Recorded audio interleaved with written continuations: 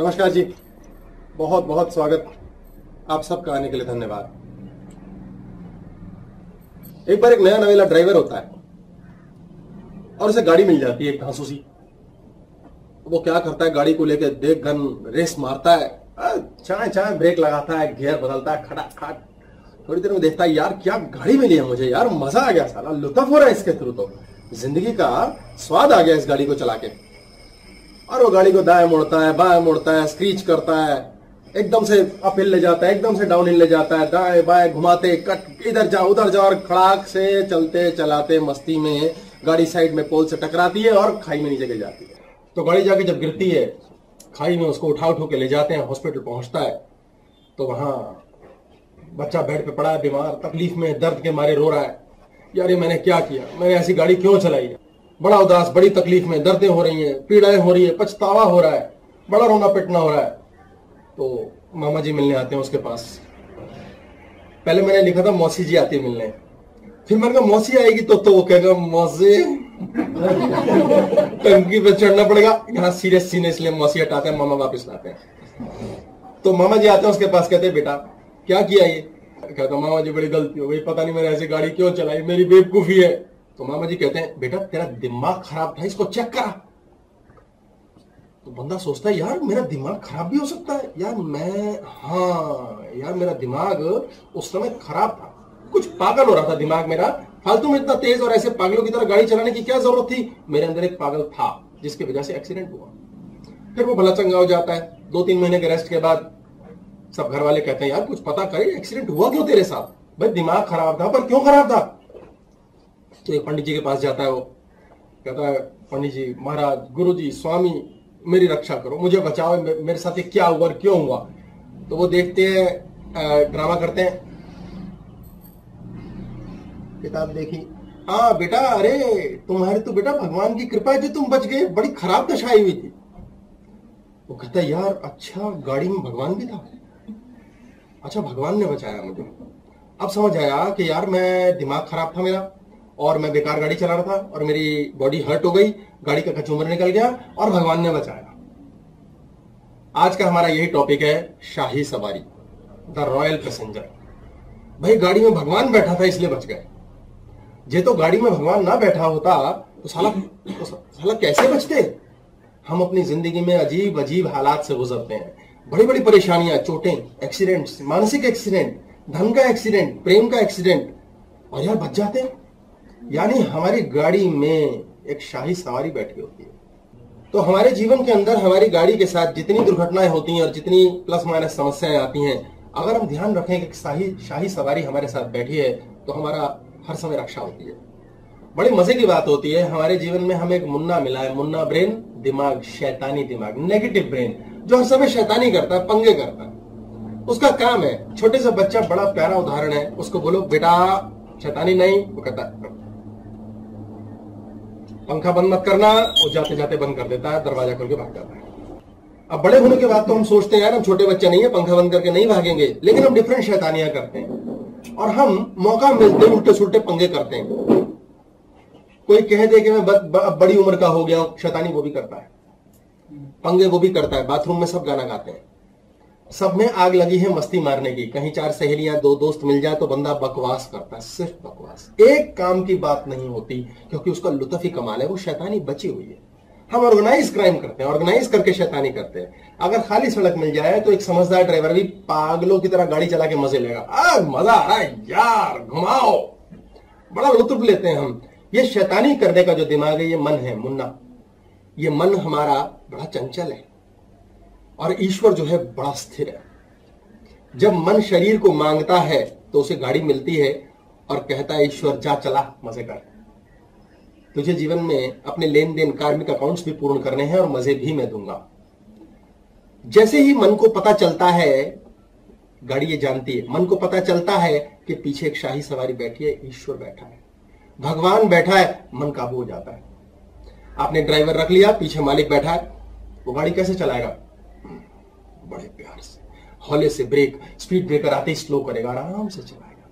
मालिक नहीं होगा दे धाए धाए सारे शॉकर सस्पेंशन चेक कर लेगा टेस्टिंग हो जाएगी बढ़िया से गाड़ी की। सारे तोते उड़ जाएँगे। शाही सवारी हमारे साथ है ईश्वर हमारे अंदर बैठा है और जीवन के हर प्रकार की समस्या से यूँ निकालेगा। कैसे? मन नियंत्रित रहेगा। आप देखेंगे मम्मियाँ छोटे बच्चों को बोलती है "हम्म, राक्षस आ जाएगा साढ़े छह बजे। "हम्म, आप आ जाएँगे साढ़े छह बजे। टाइम से आना। बच्चे कहते शतानी शतानी शतानी। छह उनतीस पे घर के अंदर। बच्चों को पता होना चाहिए, शाही राक्षस पहुँच जाएगा साढ़े छह। बच्चे छह उनतीस पे गुलाटी मार के घर के अंदर और सीधा मतलब बैठ के किताबों के साथ खेलना शुरू कर देते हैं। इतने शानदार के बाप देखते हैं, वाह proud to have such kids मज़ा आ गया ऐसे बच्चों को देख के। एक प्रधानमंत्री बनेगा, एक राष्ट्रपति। वो बुद्धू बनाते हैं। तो मन कितना चालाक है। एक छोटे बच्चे की तरह हमें बुद्धू बनाता रहता है। और हम इस भ्रम में आ जाते हैं कि यार अब तो ये तो बहुत ही बढ़िया। ये मन का तरीका है खींचने का कि मैं बहुत अच्छा ड्राइवर हूँ। मैं किसी हालत में आपके जीवन में समस्या नहीं आने दूँगा। बस एक बार इस ईश्वर को भूल जाओ। भूल जाओ यार, मुझे गाड़ी चलाने दो मर्ज़ी से। मैंने धाए धाए चलानी है, खूब ब्रेकें लगानी है और अनलिमिटेड स्पीड पे भागना है। ये मन की चंचलता भी हमारे साथ है, ये शरीर हमारे साथ है। और ये ईश्वर जो इन सबको चला रहा है, वो अंदर बैठा है। उस ईश्वर ने इन तीनों को बांधने की जो शक्ति दी है, उसे कॉन्शियसनेस कहते हैं, चेतना कहते हैं। वो एक प्रकार का बस ऑन करना ऑन सब ऑन हो गया। आपके घर के बाहर एक मास्टर स्विच होता है, बिजली का ऑन उसके बाद अंदर आप एसी चलाए, पंखा चलाए, मिक्सी चलाए, आपकी श्रद्धा है। आप अलग अलग चीज़ें चला सकते हैं। मन के पास जितनी ताकत है, वो रिज़र्व रखता है। मन अंदर ताकत रिज़र्व रखता है और बॉडी की ताकत पहले यूज़ करता है। तो बॉडी को ट्रेन करता है। बॉडी है हमारी गाड़ी। जिसको एक्सीडेंट करने में मन को बड़ा मज़ा आता है जब तक ये लाचार ना हो जाए तब तक मन शांत नहीं बैठता। यानी मन कहता रहता है चीनी खानी है मीठा खाना है। बॉडी कहती है भाई शुगर हो गई अब तो मान जा। कहते हैं, नहीं ना होने देना कुछ नहीं होता खाना है। अंग तबाह हो जाते हैं रिश्ते तबाह हो जाते हैं प्रेम तबाह हो जाता है। इन सबको ठीक करने वाला ईश्वर को भुला करके जो मर्यादा से नियम से चलता है। सूर्य नियम से आता है। सूर्य नियम से जाता है। सांस नियम से चलती है। सांस नियम से आती है। हम उसे भूल जाते हैं।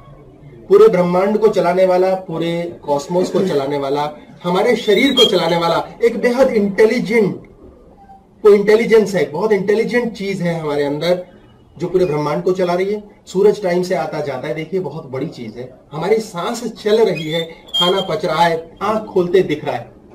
ये इंटेलिजेंस हमारे अंदर काम कर रही है, जोशो खरोश से। ये इंटेलिजेंस हमारे अंदर काम कर रही है। जो इतना बड़ा ब्रह्मांड चला सकती है, इतना जीवन चला सकती है, हमारे अंदर जीवन ऊर्जा दे सकती है, क्या वो हमारी समस्याएँ खत्म नहीं कर सकती? क्या वो हमारे शरीर को हील नहीं कर सकती? क्या वो हमारे को धन अरेंज करके नहीं दे सकती? क्या हमारी मानसिकता को सुधार नहीं सकती? क्या प्रेम नहीं दे सकती? वो सब दे सकती है। हम उसके पल्ले जाते ही नहीं, उसको देखना ही छोड़ देते हैं। हम समस्याओं को देखने लगते हैं। मुन्ना क्या करता है? बाहर देखता बाहर गाड़ी, देख, गड्ढे देख कितने हैं। ओ देख यार कितनी गंदी हवा चल रही ओ यार इस ट्रक ड्राइवर को देख कैसे चला रहा है, पागल है। वो बाहर देखता रहता है। मन बाहर देखता रहता है। और बार बार कहता है, समस्याएँ ही, समस्याएँ हैं। मुझ पे छोड़ो, मैं चलाऊँगा। जब उसको ये पता होता है कि गाड़ी के अंदर शाही सवार बैठा है, ईश्वर बैठा है तो बड़ी तमीज से चलता है वो। बहुत नियंत्रित होके। ये शरीर की ऊर्जा खींचता है और शरीर को तंग करता है। मान लीजिए सड़क पे उसने देखा एक बंदे ने गाड़ी साइड से निकाल दी वो बहुत हल्ला मचाता है। पैनिक मोड क्रिएट करता है कि ईश्वर को भूल जाओ। पैनिक में पड़ा हुआ आदमी क्या होता है? "हाँ, पता नहीं क्या होगा पता नहीं क्या होगा। यानी ईश्वर ईश्वर का कोई लेन देन नहीं है। जिसे ईश्वर का ध्यान है भाई प्रकृति के नियम के द्वारा हो रहा है। अक्सर लोग कहते हैं मामा जी मर जाएँगे। मरना लिखा होगा मर जाएँगे कोई नहीं रोक सकता। आप पैनिक मोड में होंगे तो जल्दी मार दोगे। ऐसी स्थिति में क्या करता है? एनर्जी खींचता है अंदर से। जैसे ही बॉडी में से एनर्जी खींचता है आप 10, 20, 30 परसेंट बाहर चले जाते हैं। गुस्सा करते हैं हल्ला मचाते हैं। ऐसा क्यों कर दिया ऐसा क्यों कर दिया? ये नहीं होना चाहिए। बॉडी में से एनर्जी ड्रेन होती है। बॉडी थकने लगती है। बॉडी का कचूमर निकल, निकलने लगता है। गाड़ी का इंजन गर्म होता है। आपने देखा होगा। गाड़ी जो है वियर एंड टेयर होता है। ब्रेक्स घिस जाते हैं जल्दी। क्यों हटके घिस जाते हैं जल्दी? आपने बॉडी की एनर्जी खींची है। बहुत ज़्यादा स्ट्रेस क्रिएट किया है। और आपने क्लेश करने के कारण से शरीर में तकलीफें दी हैं। शरीर कहता है बॉडी का ब्रेन ये जो शरीर पे, पेट पे मोटापा आता है, क्यों आता है? बॉडी का ब्रेन कहता है, मजबूर हूँ, मुन्ना सब खींच रहा है। तो कहता है, कुछ रख ले, कुछ रख ले, कुछ रख ले। तो बॉडी जो भी भोजन खाती है, उसमें से फैट रखना शुरू कर देती है। और ये हमारा केंद्र है, जहाँ सारे अंग है, ये ऑर्गन है। ये इमोशनल सेंटर है हमारा। पैरों का निचला हिस्सा रेप्टाइल ये ऊपर का हिस्सा इमोशंस और ये वाला हमारा तीसरा, नेत्र नियोकॉटेक्स फ्रंटल लोब इस प्रकार, सिर में भी ऐसे ही तीन सेक्शन है बॉडी में भी तीन सेक्शन तो यहाँ रोक लेता है। आप सोचें कितना आवश्यक है फैट हमारे लिए। हम सिक्स पैक के लोचे में रहते हैं, आजकल झंझट में रहते हैं। हमारी किडनी हमारा लिवर हमारी हार्ट हवा में टंगे हुए हैं। और हम भागते, दौड़ते हैं, सोते हैं, जो मर्ज़ी करते हैं। किसने बाँध रखा है? सबको फैट ने बाँध रखा है। फैट इतना ज़्यादा आवश्यक है। और वो शरीर की ऊर्जा को खींच के सक्शन लेता है स्ट्रेस डालता है और आदमी 20 परसेंट, तीस परसेंट, चालीस, कई लोग तो एक एक दिन दस दस दिन दस दस साल परेशानी में रहते हैं। तो बॉडी क्या करती है? सारी एनर्जी खत्म। तभी अक्सर परेशान लोग कहते हैं, जाननी है, बिल्कुल जाननी है, बिल्कुल जाननी है। थके पड़े हैं टूटे पड़े, और शरीर में रोग शुरू हो जाते हैं। और ऐसा क्यों हुआ है? प्रेम में, जीवन में, धन में, हर चीज़ में रोग समाप्त रोग लग जाता है। क्योंकि आपने अपने आप को इमरजेंसी मोड में डाल दिया है। बैटरी उड़ रही है, जान निकल रही है पूरी की पूरी। किसी तरह का हालात नहीं है। शरीर थक गया है। शरीर थक गया मीन्स आपके जीवन में बनी हुई चिज्जियाँ। शरीर एक चिज्जी है। मन ने चिज्जी बनाई है। अब शरीर ने चिज्जी बनाई, मकान बनाया। आपका मकान थक जाता है। आपने सोफा बनाया, आपने गाड़ी बनाई, आपने घर में कोई अलमारी खरीदी, ये चिज्जियाँ हैं। ये सब चिज्जियाँ आपको सुख नहीं देती। अलमारी में अलमारी कपड़े नहीं है, सोफा है, वो खराब हो रहा है, गाड़ी है, हर समय गड़बड़, खर्चा मांगती है। क्योंकि आपका जो हाइपर ड्राइव आपका स्ट्रेस लेवल दिमाग का है, उसने आपकी बॉडी को खींच डाला है चूस डाला है। इसलिए शरीर में जान नहीं है। अब मन कहता है, यार, मुझे तो शरीर का इस्तेमाल करना देखिए, कितना निचोड़ता है शरीर को। शरीर में तकलीफें मुफ़्त में नहीं आती, गाड़ियाँ मुफ़्त में खराब नहीं होती, नौकरियाँ मुफ़्त में खराब नहीं होती, प्रेम बेकार में खराब नहीं होता, निचोड़ लेता है। अब उसके बाद मन कहता है, अब मुझे अपनी ताकत इस्तेमाल करनी है। आप देखिए, मन के पास एक्स्ट्रा ताकत होती है, पर वो रिज़र्व में रखता है। पहले वो शरीर तोड़ता है, फिर मन अपनी ताकत इस्तेमाल करता है। हारता नहीं आखिर तक। मन के हारे हार है, मन के जीते जीत। मन हारता नहीं है आसानी से। मन आखिर में क्या करता है? बॉडी को हाइपर ड्राइव में लाना चाहता है। यानी कि इमरजेंसी मोड की बच्ची खुची भी निचोड़ के ताकत समाप्त कर दे। बॉडी का सिस्टम बना हुआ है। जैसे ही कहीं कोई डर या भय या एंजाइटी या क्लेश या तनाव या स्ट्रेस बनती है बॉडी में ताकत आ जाती है। बड़ा विचित्र सा सिस्टम होता है। बॉडी के ऑर्गन से ब्लड की सप्लाई खींच के हार्ट और ब्रेन सारा का सारा ताकत मसल्स में डाल देती है। ये बॉडी का सिस्टम है। इसमें कॉर्टिसोल नाम का एक हार्मोन होता है। एडिनल ग्लैंड होते हैं किडनी के ऊपर पड़े हुए। वो इसलिए बने हैं, जब भी वो बहुत भयानक विपदा आई है तो आपको अपने शरीर में ज़बरदस्त ताकत चाहिए। माँ को बड़ा ज़बरदस्त भय होता है बच्चे के लिए। इसलिए माँ दसियों किलो के बच्चों को गोद में उठा के घूम लेती है। और दो किलो की पानी की बाल्टी ना उठा सके वो। कहाँ से वो ताकत आती है? ये प्रकृति का नियम है, लेकिन शरीर निचुड़ जाता है, अंग समाप्त हो जाते हैं, हड्डियाँ घिस जाती हैं, सारे ब्रेक शू खत्म हो जाते हैं। जान निकल जाती है, बुढ़ापे की स्थिति आ जाती है, बहुत ही जल्दी। तो ऐसे में मन क्या करता है? ताकत देता है। आपने देखा होगा मन की ताकत कहाँ से आती है? मन को अगर क्लेश हो जाए ना, ताकत बढ़ती है। तो हमारे जीवन में हम आदतें डाल लेते हैं रोने पिटने की। ऐसे बहुत से लोग हैं जो दुखी होने में बहुत खुश हैं। जैसे ही वो दुखी होते हैं या क्लेश में आते हैं, उनके शरीर में जान आती है, पता नहीं कहाँ से जान आती है। आपने देखा होगा, बॉक्सर है फाइट लड़ रहा है। यस यस मारना है, मारना दुश्मन को मारना सामने वाला दुश्मन है इस समय, उसका कत्ल हो जाए, खून हो जाए, मैंने बेल्ट जीतनी है। तो उसका जो कोच होता है, वो उसके पास आता है, उसे गुस्सा दिलाता है, जोश दिलाता है, चार थप्पड़ मारता है ऊपर। और वो कहता है yes I can I can do मार दूँगा, ये कर दूँगा। और पता नहीं कहाँ से राक्षसी ताकत आती है, उस हारते हुए आदमी में, कि वो मुकाबला जीत जाता। है सारे फाइटर्स यही काम करते हैं। कहाँ से होता है ऐसी ताकत? तो सोचिए, शरीर में एक सर्ज ऑफ़ एनर्जी आती है। क्लेश के टाइम में शरीर में भयंकर ताकत आती है। इसलिए ना, दिमाग ट्रेंड कर देता है बॉडी को। भैया क्लेश में रहना। जब जब तेरे को क्लेश होएगा ना, तेरे शरीर में ताकत आएगी।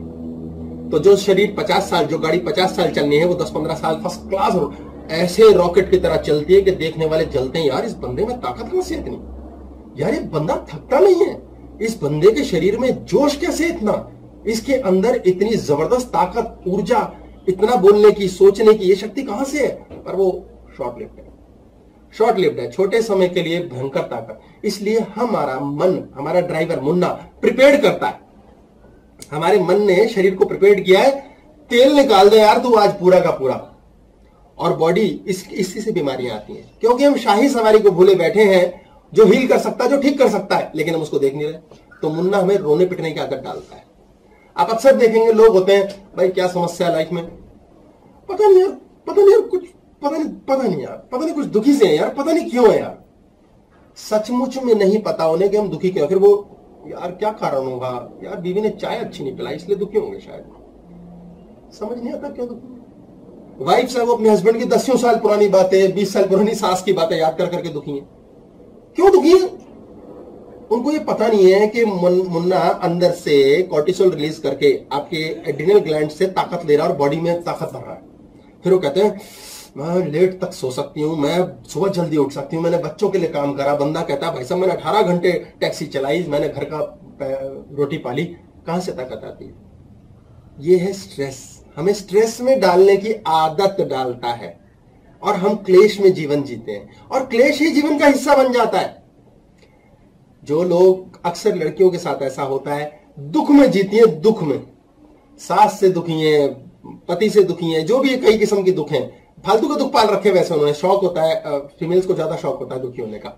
उसमें मज़ा आता है। बड़ी अच्छी टेंशन मिलती है। वो नाजुक बन जाती हैं और ज़्यादा। बड़ा अच्छा लग रहा होता है उन्हें। तो वो और दुखी होती हैं और वो उस जीवन को काट लेती हैं। वो उस जीवन को काट लेती हैं। बड़ी कठिन परिस्थिति में स्त्री तलाक देती है। पुरुष तलाक देता है ले खत्म, दफ़ा कर। स्त्री संभाल लेती है क्योंकि उसकी बॉडी में एक्स्ट्रा एनर्जी आती है उस कष्ट से, उस क्लेश से, उस रोने पिटने से। इसलिए मरे पिटे प्रेम के रिश्तों को घसीटती रहती हैं वो। बेफालतू में बच्चों में मोह डाल के रखती हैं। बच्चे पूछते भी नहीं। बच्चे को कहता है बच्चा कहता, मुझे इतने खाना मत खिलाओ।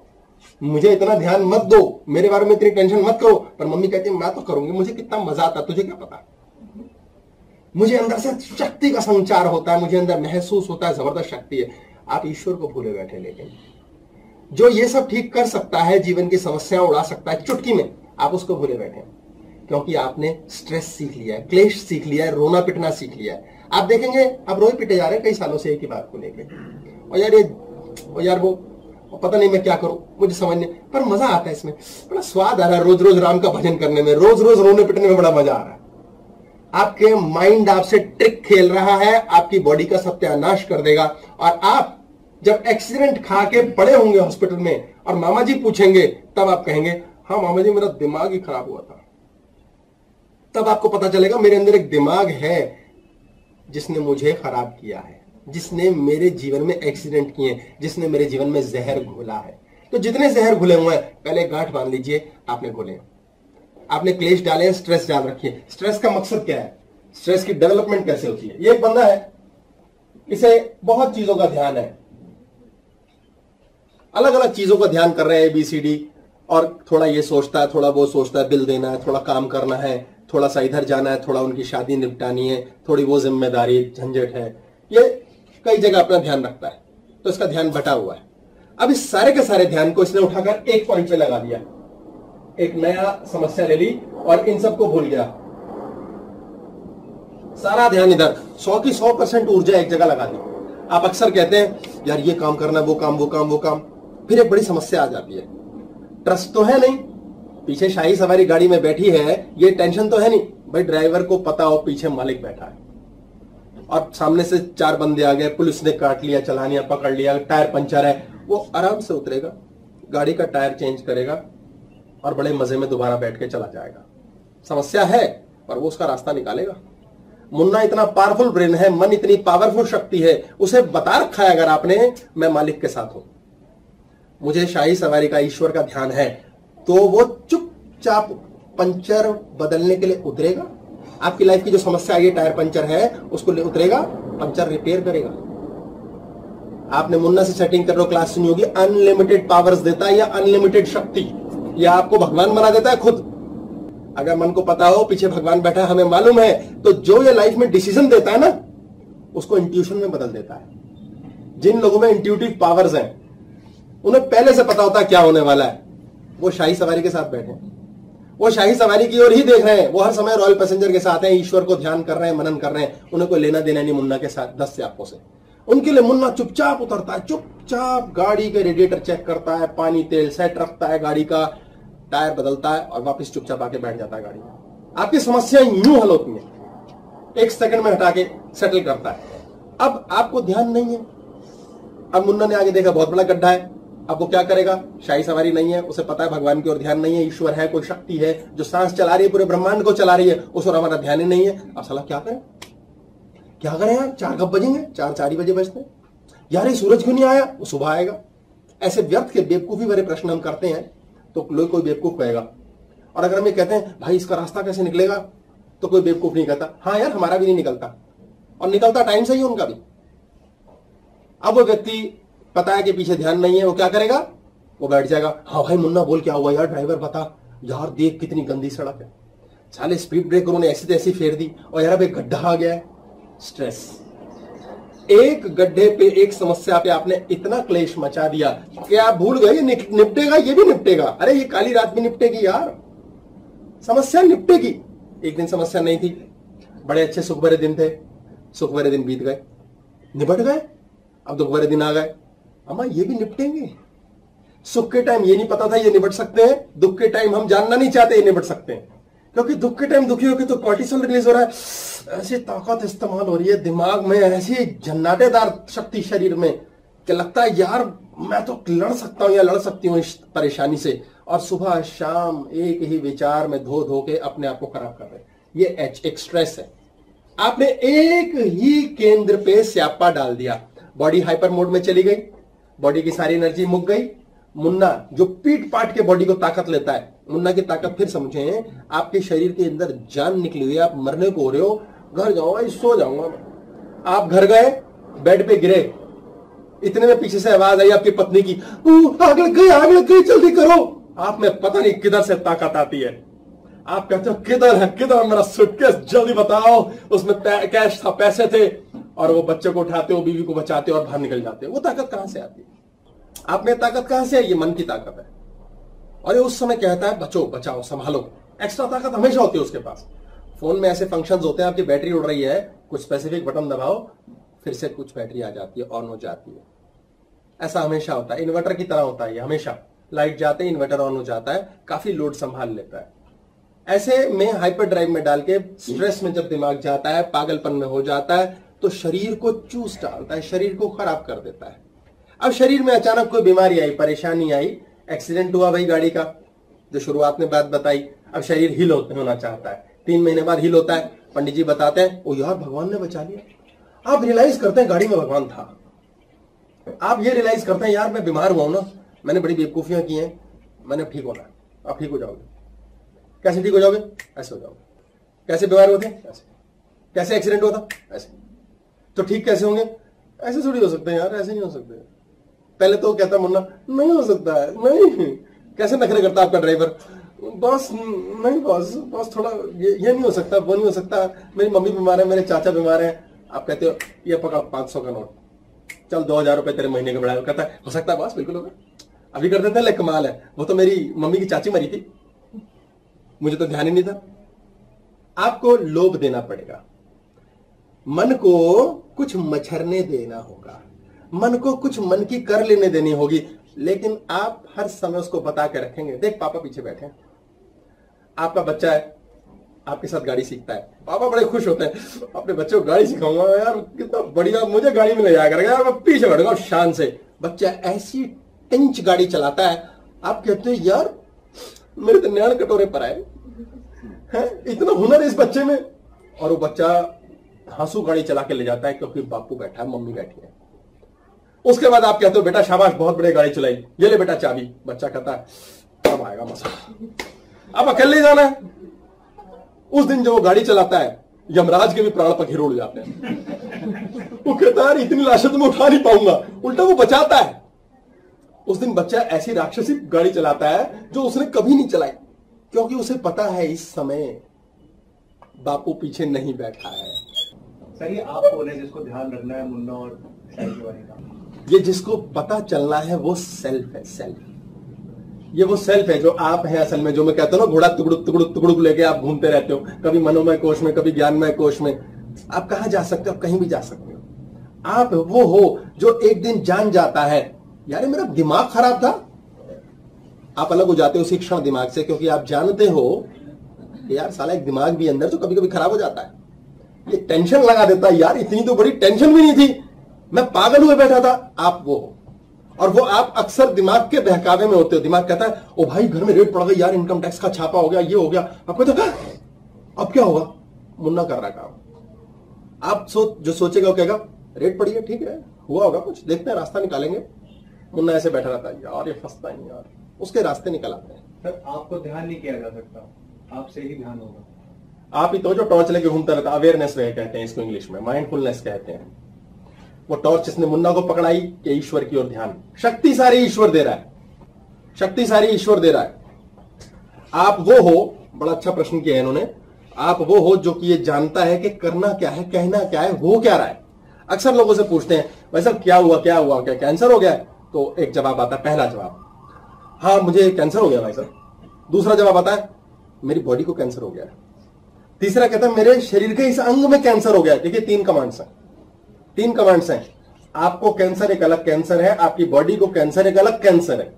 आपके शरीर के खास अंग पे एक अलग कैंसर है। जिसने कहा, आपको स्वयं पूरा कैंसर है, उसका ठीक होना राम भरोसे ही क्योंकि लोकलाइज नहीं किया। कई लोग कहते हैं, गाड़ी खराब हो गई यार। टायर पंचर हुआ है। नहीं यार, गाड़ी में कुछ कचरा फंस गया है। गाड़ी की कुछ ब्रेक शू खराब? स्पेसिफिक प्रॉब्लम स्पेसिफिक हल। आपको स्पेसिफिक हल नहीं पता। मेरे हस्बैंड है ही खराब। भाई, आखिर क्या खराबी उनमें पता चले। अगर पता चले बैठ के कि क्या खराबी है, जो पत्नी कहते हैं या पति भी कहते हैं, शब्द का एग्ज़ाम्पल है, कि मेरे हस्बैंड है ही खराब तो भाई पता करो क्या खराब है। तो उसकी कोई एक कमी होगी, एक। एक होगी जो उसने बाकी सब भुला दी, और क्या यही है, बस ये इसी वजह से खराब है। मेरे सुनते ही नहीं है सुनते तो है ही मेरी। मैं सुनते हैं तो कान खराब है अब कान क्यों खराब है उसके? उसके हाथ ठीक है उसकी नाक ठीक है उसके कई सैकड़ों गुण हैं। वो आपने कूड़े में डाल दिए। आपकी तो पूरी बॉडी को कैंसर हो गया आपका तो पूरा हस्बैंड ही खराब हो गया। आप कह सकते हो मेरे हस्बैंड की एक ये खासियत है जिसके कारण मैं उनसे नफरत करती हूँ। बाकी सब काबिलियतों को तो मैं ध्यान ही नहीं देना चाहती। वो तो मुझे हाँ, शादी से पहले भी बहुत दीवाने थे मिली जाती। तो आप एक ही जगह स्ट्रेस बनाए बैठे हो। आप एक जगह खोपड़ी लगाई और पूरा का पूरा इलाके में कैंसर फैला दिया। इसलिए आप किसी के लिए कुछ बुरा बोलो तो सोचिए, आप हाइपर ड्राइव में तो नहीं जा रहे। आप पूरा ही बुरा बोल देते हो उसे। पूरा बुरा कोई नहीं होता। आपको कोई एक खास चीज़ लगती है जो पसंद नहीं आई आप कहते तो बहुत ही घटिया है। अगर पति पत्नी विशेष तौर पर यह बात समझ लें, दो मित्रों में तो होता ही नहीं, बहुत रेयर, क्योंकि वो माफ़ करना जानते हैं। अगर पति पत्नी विशेष तौर पर समझ लें तो बड़ा प्रेम स्थापित रहेगा। तो ठीक है यार, एक दो आते बुरी हैं, पर यार बाकी तो अच्छा है। अब है दो बुरी, दो के लिए हम लड़ेंगे। बाकी आठ खराब नहीं करेंगे। बाकी आठ के कारण जीवन नहीं तो पूरा खराब होता है। दीमक इतने से में लगती है और पूरे को खा जाती है। आप दीमक पे ध्यान दे रहे हैं बचे हुए तो दीमक काटो। दीमक के हिस्से को छोड़ना पड़ेगा, उसकी ट्रीटमेंट कराओ। हम छोटे से अवगुण के कारण बच्चे को डांट देते हैं। बच्चा अब नंबर नहीं लाया तो है किसी लायक नहीं। बच्चा बाप से और माँ से नफरत कर बैठता है। और वो भूलती नहीं है कॉन्शियसनेस मन पे लगी चोट का बदला कौन लेता है मुन्ना? वो कहता है, मुझे ये कहा था इन्होंने, मैं बदला लूँगा। वो छोड़ देता है। ओवरऑल हम अपने जीवन में शाही सवारी को भूलकर जीवन में आगे की ओर देखने लग जाते हैं, हम बीमार पड़ जाते हैं। जीवन कैसे चलता है मुन्ना क्या है हाथ? खुली आँखें। ये जो मुन्ना होता है, ये खुली आँखों से देखता है। आपकी जितनी ज़्यादा आँखें खुली हैं, उतना ज़्यादा आप आगे और बाहर की ओर है, उतना ज़्यादा आपकी बॉडी ड्रेंड आउट होगी और शाही सवारी की ऐसी की तैसी। और आप जीवन में हमेशा देखते रहो, इधर क्या हो रहा है, उधर क्या हो रहा है, इसने क्या किया, और चार लोग आपके खड़े रहेंगे, यार, इन चार लोगों के लिए क्या करना है? तो हमारे जीवन की सबसे बड़ी और पहली समस्या मुन्ना क्रिएट करता है, समाज। यार, समाज के हिसाब से चलना पड़ेगा। दूसरी सबसे बड़ी समस्या क्रिएट करता है घर वाले रिश्ते। इन रिश्तों के हिसाब से चलना। है आप देखेंगे, आपकी परेशानी आप पेपर पेन लेके लिखें। परेशानी नंबर वन उसमें समाज की बात होगी। परेशानी नंबर टू उसमें रिश्तों की बात होगी। और परेशानी नंबर तीन ईगो यार, मेरी औकात। ये तीन ही परेशानियाँ हमारे जीवन में, इसके अलावा चौथी कोई परेशानी नहीं है। और इसी में हमारा जीवन पूरा का पूरा लफड़े में रहता है। तो मुन्ना क्या करता है? आँखें खोल के सौ की सौ परसेंट एनर्जी ड्रेन आउट कर देता है। और हमारे तोते उड़ जाते हैं। अब मुन्ना के ऑपोजिट ईश्वर की साधना, गुरु का ध्यान प्रभु की आराधना, शाही सवारी को पहचानने के लिए मेडिटेशन करने वाले, ध्यान करने वाले, ईश्वर के संरक्षण में जाने वाले, जीवन सुधारने वाले लोग क्या करते हैं? हीलिंग हीलिंग कहाँ से होती है? जब भी आप देखेंगे कोई व्यक्ति ईश्वर के नाम में रत है तो उसकी आँखें टोटली बंद है। आप अंदर होते हो। आपका ध्यान बाहर है गाड़ी की ओर, आप सड़क पे गड्ढे देखोगे, साइड वाला गाड़ी अच्छी नहीं चला रहा है, दूसरों की बुराई, हम यही करते हैं। यार, ये मेरे को ये बुरा मिला? मेरे को बचपन से वो प्रॉब्लम हुई थी और मुझे इसने साथ नहीं दिया, उसने ठग लिया। आप अंदर नहीं गए, आप हील नहीं होंगे। आपकी हीलिंग आपकी समस्या की, पैसे की, काम की, सोच की कोर्ट कचहरी की, झंझट की, शरीर की बीमारी की, सब अंदर है। आप अंदर नहीं जा रहे बस। आज अंदर जाना बताऊँगा, अंदर जाकर के कमांड्स देना प्रॉब्लम सॉर्टेड आउट ऐसे होगी, ऐसे। ये चुटकी में। आप अंदर जाते हैं, इसे मेडिटेशन बोलते हैं। क्या होता है परेशानी में मनुष्य? बहुत परेशान, बहुत दुखी, रास्ता नहीं मिल रहा। रास्ता क्यों नहीं मिल रहा? मुन्ना के पास जब परेशानी आती है, वो कहता है, यार पास्ट एक्सपीरियंस के हिसाब से मुझे ना, मैंने यहाँ यहाँ गाड़ी चलाई है, इसमें ऐसे ऐसे करते हैं। अच्छा यार, ये तो नई समस्या इसका तो पता ही नहीं। अब वो पुरानी समस्या के हिसाब से क्या करता है? कि क्या होगा यार, ये समस्या तो ऐसी यार। तो इसे वर्स्ट केस सिनेरियो बोलते हैं। वो सबसे बुरे से बुरा क्या हो सकता है, ये सोचवा देता है। कि यार ये ही सबसे बुरे से बुरा, भाई, मौत हो सकती है या तबाह हो सकते हैं सुसाइड कर सकते हैं, हम बर्बाद हो सकते हैं, सड़क पे आ सकते हैं, बदनाम हो सकते हैं, सारी बुरी बुरी चीज़ें हमारी बॉडी के पिंगू ब्रेन में ट्रेंड करने लगता है। बार बार वो फोटोकॉपीज निकालता है, परेशानी एक, परेशानी दो, झंझट दो, पैंतीस किस्म की समस्याएँ, चार सौ किस्म की बीमारी, और वो भजन बन जाता है। आप किसी को बुलाते हैं, कैसे बुलाते हैं? एक बार बुलाते हैं। हाँ भाई साहब, सुनिएगा जरा। वो नहीं सुनता, दोबारा बोलते हैं, हेलो प्लीज़ सुनिए तो वो सुन लेता है। यानी कि रिपीटिशन से ज़्यादा इफ़ेक्ट पड़ता है। ये कहा जाता है कि राम का नाम हज़ारों बार लो, राम मिल जाएँगे। भाई, पुनः पुनः आप गंगा पे जाते हैं एक एक बाल्टी भर के लाते हैं तो बहुत बड़े कंटेनर को भर सकते हैं आप। ऐसे आप किसी को एक गाली बकेंगे, वो शायद माफ़ कर दे। पर आप 400 गाली बकेंगे ना 400 नहीं, चार ही काफ़ी है। चार गाली बकेंगे, वो मारने आ जाएगा। यानी कि जो पुनः पुनः आप कर रहे हैं, उसका इफ़ेक्ट होता है। आप बार बार जो काम करते हैं, उसका असर हो जाता है। आप बार बार रोज रोना, पिटना कर रहे हैं, रोज भजन कर रहे हैं, क्लेश का। आपकी वो मल्टीप्लाई हो रही है चीज़। आप हील कहाँ से होंगे वो सुधरेगी कहाँ से? आप सुंदर बात करते हैं किसी से। दो लोग मिलते हैं, बड़े प्रेम से बात करते हैं, और सुनाओ कैसे हैं, आप सुनाओ कैसे अगले दिन वो फिर हँसी ठट्ठा करते हैं। मित्रता प्रगाढ़ हो जाती है। बहुत सुंदर बॉन्ड बन जाता है, क्योंकि रोज रोज सुंदर बात हो रही है। तो क्या होगा? मजबूती। रोज रोज अच्छा खाना खा रहे हैं, क्या होगा? बॉडी फ़र्स्ट क्लास होगी। रोज रोज प्रेम से बात कर रहे हैं, क्या होगा? खुशहाली। आप रोज रोज एक ही भजन कर रहे हैं, रोने का, पिटने का, क्लेश का, टैटे का, तू बुरा, वो बुरा, मेरी गाड़ी का ये खराब है, मेरी सड़क खराब है, लोग गंदे, वो मल्टीप्लाई हो रहा है। आपकी लाइफ में क्लेश मल्टीप्लाई हो रहे हैं। आपने ध्यान, ऊर्जा के, बंडल के बंडल बना डाले। अगर शोल्डर पे रख लिए, ज़िम्मेदारी कैसे पूरी होगी? वो यहाँ पड़े होते हैं सर्वाइकल हो जाएगा। मान सम्मान ने इज़्ज़त पे बना दिया, यहाँ समाज क्या कहेगा, वो यहाँ इकट्ठा हो जाता है थैमस ग्लैंड यहाँ हार्ट चक्र है हमारा। वो हृदय पे कोलेस्ट्रॉल बढ़ाता है, अगर क्लेशबाजी दिल की लगा दी, गिल्ट लगा दी, समाज की लगा दी थायराइड होता है। थायराइड के पेशेंट सारे वो है जो खुश नहीं है, अपने जीवन से जैसे चल रहा है। वो दिखावा करना चाहता है, दिखावे की स्थिति। सबको थायराइड होता है। नेचुरली होता है। जिस जिसने अपनी लाइफ के अंदर सैडनेस रख ली, उदासी उदासी है यार। सबको फेफड़े का रोग होता है। सबको फेफड़े का रोग हुआ। एवरीबडी विल हैव प्रॉब्लम किसी ने बैठ करके मन के अंदर ऐसी कोई स्थिति बना ली, यार पता नहीं क्या होगा पता नहीं जीवन क्या चलेगा। सबके, सबको ऑस्टियोपोरोसिस हड्डियों की परेशानियाँ होती हैं। जीवन जैसा चल रहा है एक्सेप्ट नहीं होता, सबको बीपी होगा। हर, जिस व्यक्ति को ईगो पे बात आ गई, यार मेरी कोई इज़्ज़त नहीं है, उसको पैंक्रियास डिफेक्ट होता है। उसको शुगर प्रॉब्लम होती है। ऐसे मल्टीपल है। हर किस्म की एक फीलिंग आपके बॉडी के विशेष अंग को धीरे धीरे वीक कर देती है, खराब करती है। और आप फोटोकॉपी बनाने से बाज नहीं आते। रोज उसका बुरा वाला भजन करते हैं। अच्छा भजन करो अच्छा होगा। बुरा भजन करो, बुरा होगा। आप बुरा देखते हो। तो मन क्या करता है? वर्स्ट केस सिनेरियो बुरे से बुरी चीज़ के लिए दिमाग को तैयार करता है। क्योंकि उसे पता ही नहीं। उसे पता तो है नहीं। पास्ट एक्सपीरियंस के हिसाब से हमें पता होता है, वो हम करते हैं। जो हमें पता नहीं, वो हम नहीं कर पाते। तो पास्ट एक्सपीरियंस तो पता नहीं है उसको मन को। नया सोचने के लिए बुरा सोचता है और फिर बुरा हो जाता है। हमारी बॉडी के ब्रेन को, मुन्ना, मन का ब्रेन एक एक्स्ट्रा सिम एक एक्स्ट्रा मेमोरी कार्ड लगाते हैं ना हम फ़ोन में, उसकी तरह यूज़ करता है। उसके पास 12 जीबी की पावर है तो हम बहत्तर जीबी की पावर वाला बॉडी का ब्रेन उसे देते हैं। हमारी बॉडी मन से ज़्यादा स्ट्रांगली ट्रेंड होती है। आपने साइकिल चलाई। आप साइकिल चला रहे हैं। आप गिर गए। फिर आप कहते ओ यार चलानी लेकिन है। फिर आपने चलाई, फिर थोड़ी चलानी आ गई। देखो बॉडी ट्रेंड हो रही है। बॉडी जान रही है यार, ये हो सकता है यार। इसको तो यार ट्रेनिंग तो सेट होगा। अब बॉडी को आपने ट्रेंड किया बॉडी में वायरिंग होती है। जो हमारा ब्रेन है स्पाइनल कॉर्ड और स्कल इतना सा हिस्सा होता है मुन्ना से। और यहाँ मान के लगा के चलो 12 प्रतिशत प्री फिटेड है। जैसे कि एक मोबाइल फ़ोन के अंदर फैक्ट्री सेटिंग करने के बाद भी सात आठ दस जीबी रहता है, वो सिस्टम मेमोरी है।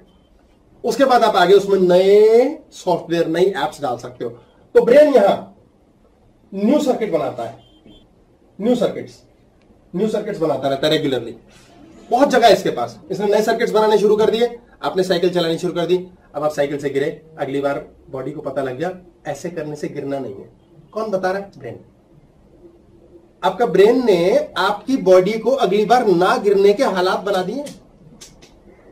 आपके जीवन में चमत्कार हो सकते हैं इसको समझना बहुत आवश्यक है। आपके ब्रेन ने अब जान लिया है कि मैं हाथ छोड़ के भी साइकिल चला सकता हूँ। मुन्ना क्या करता है? पहली बार आपकी साइकिल की चेन उतर गई।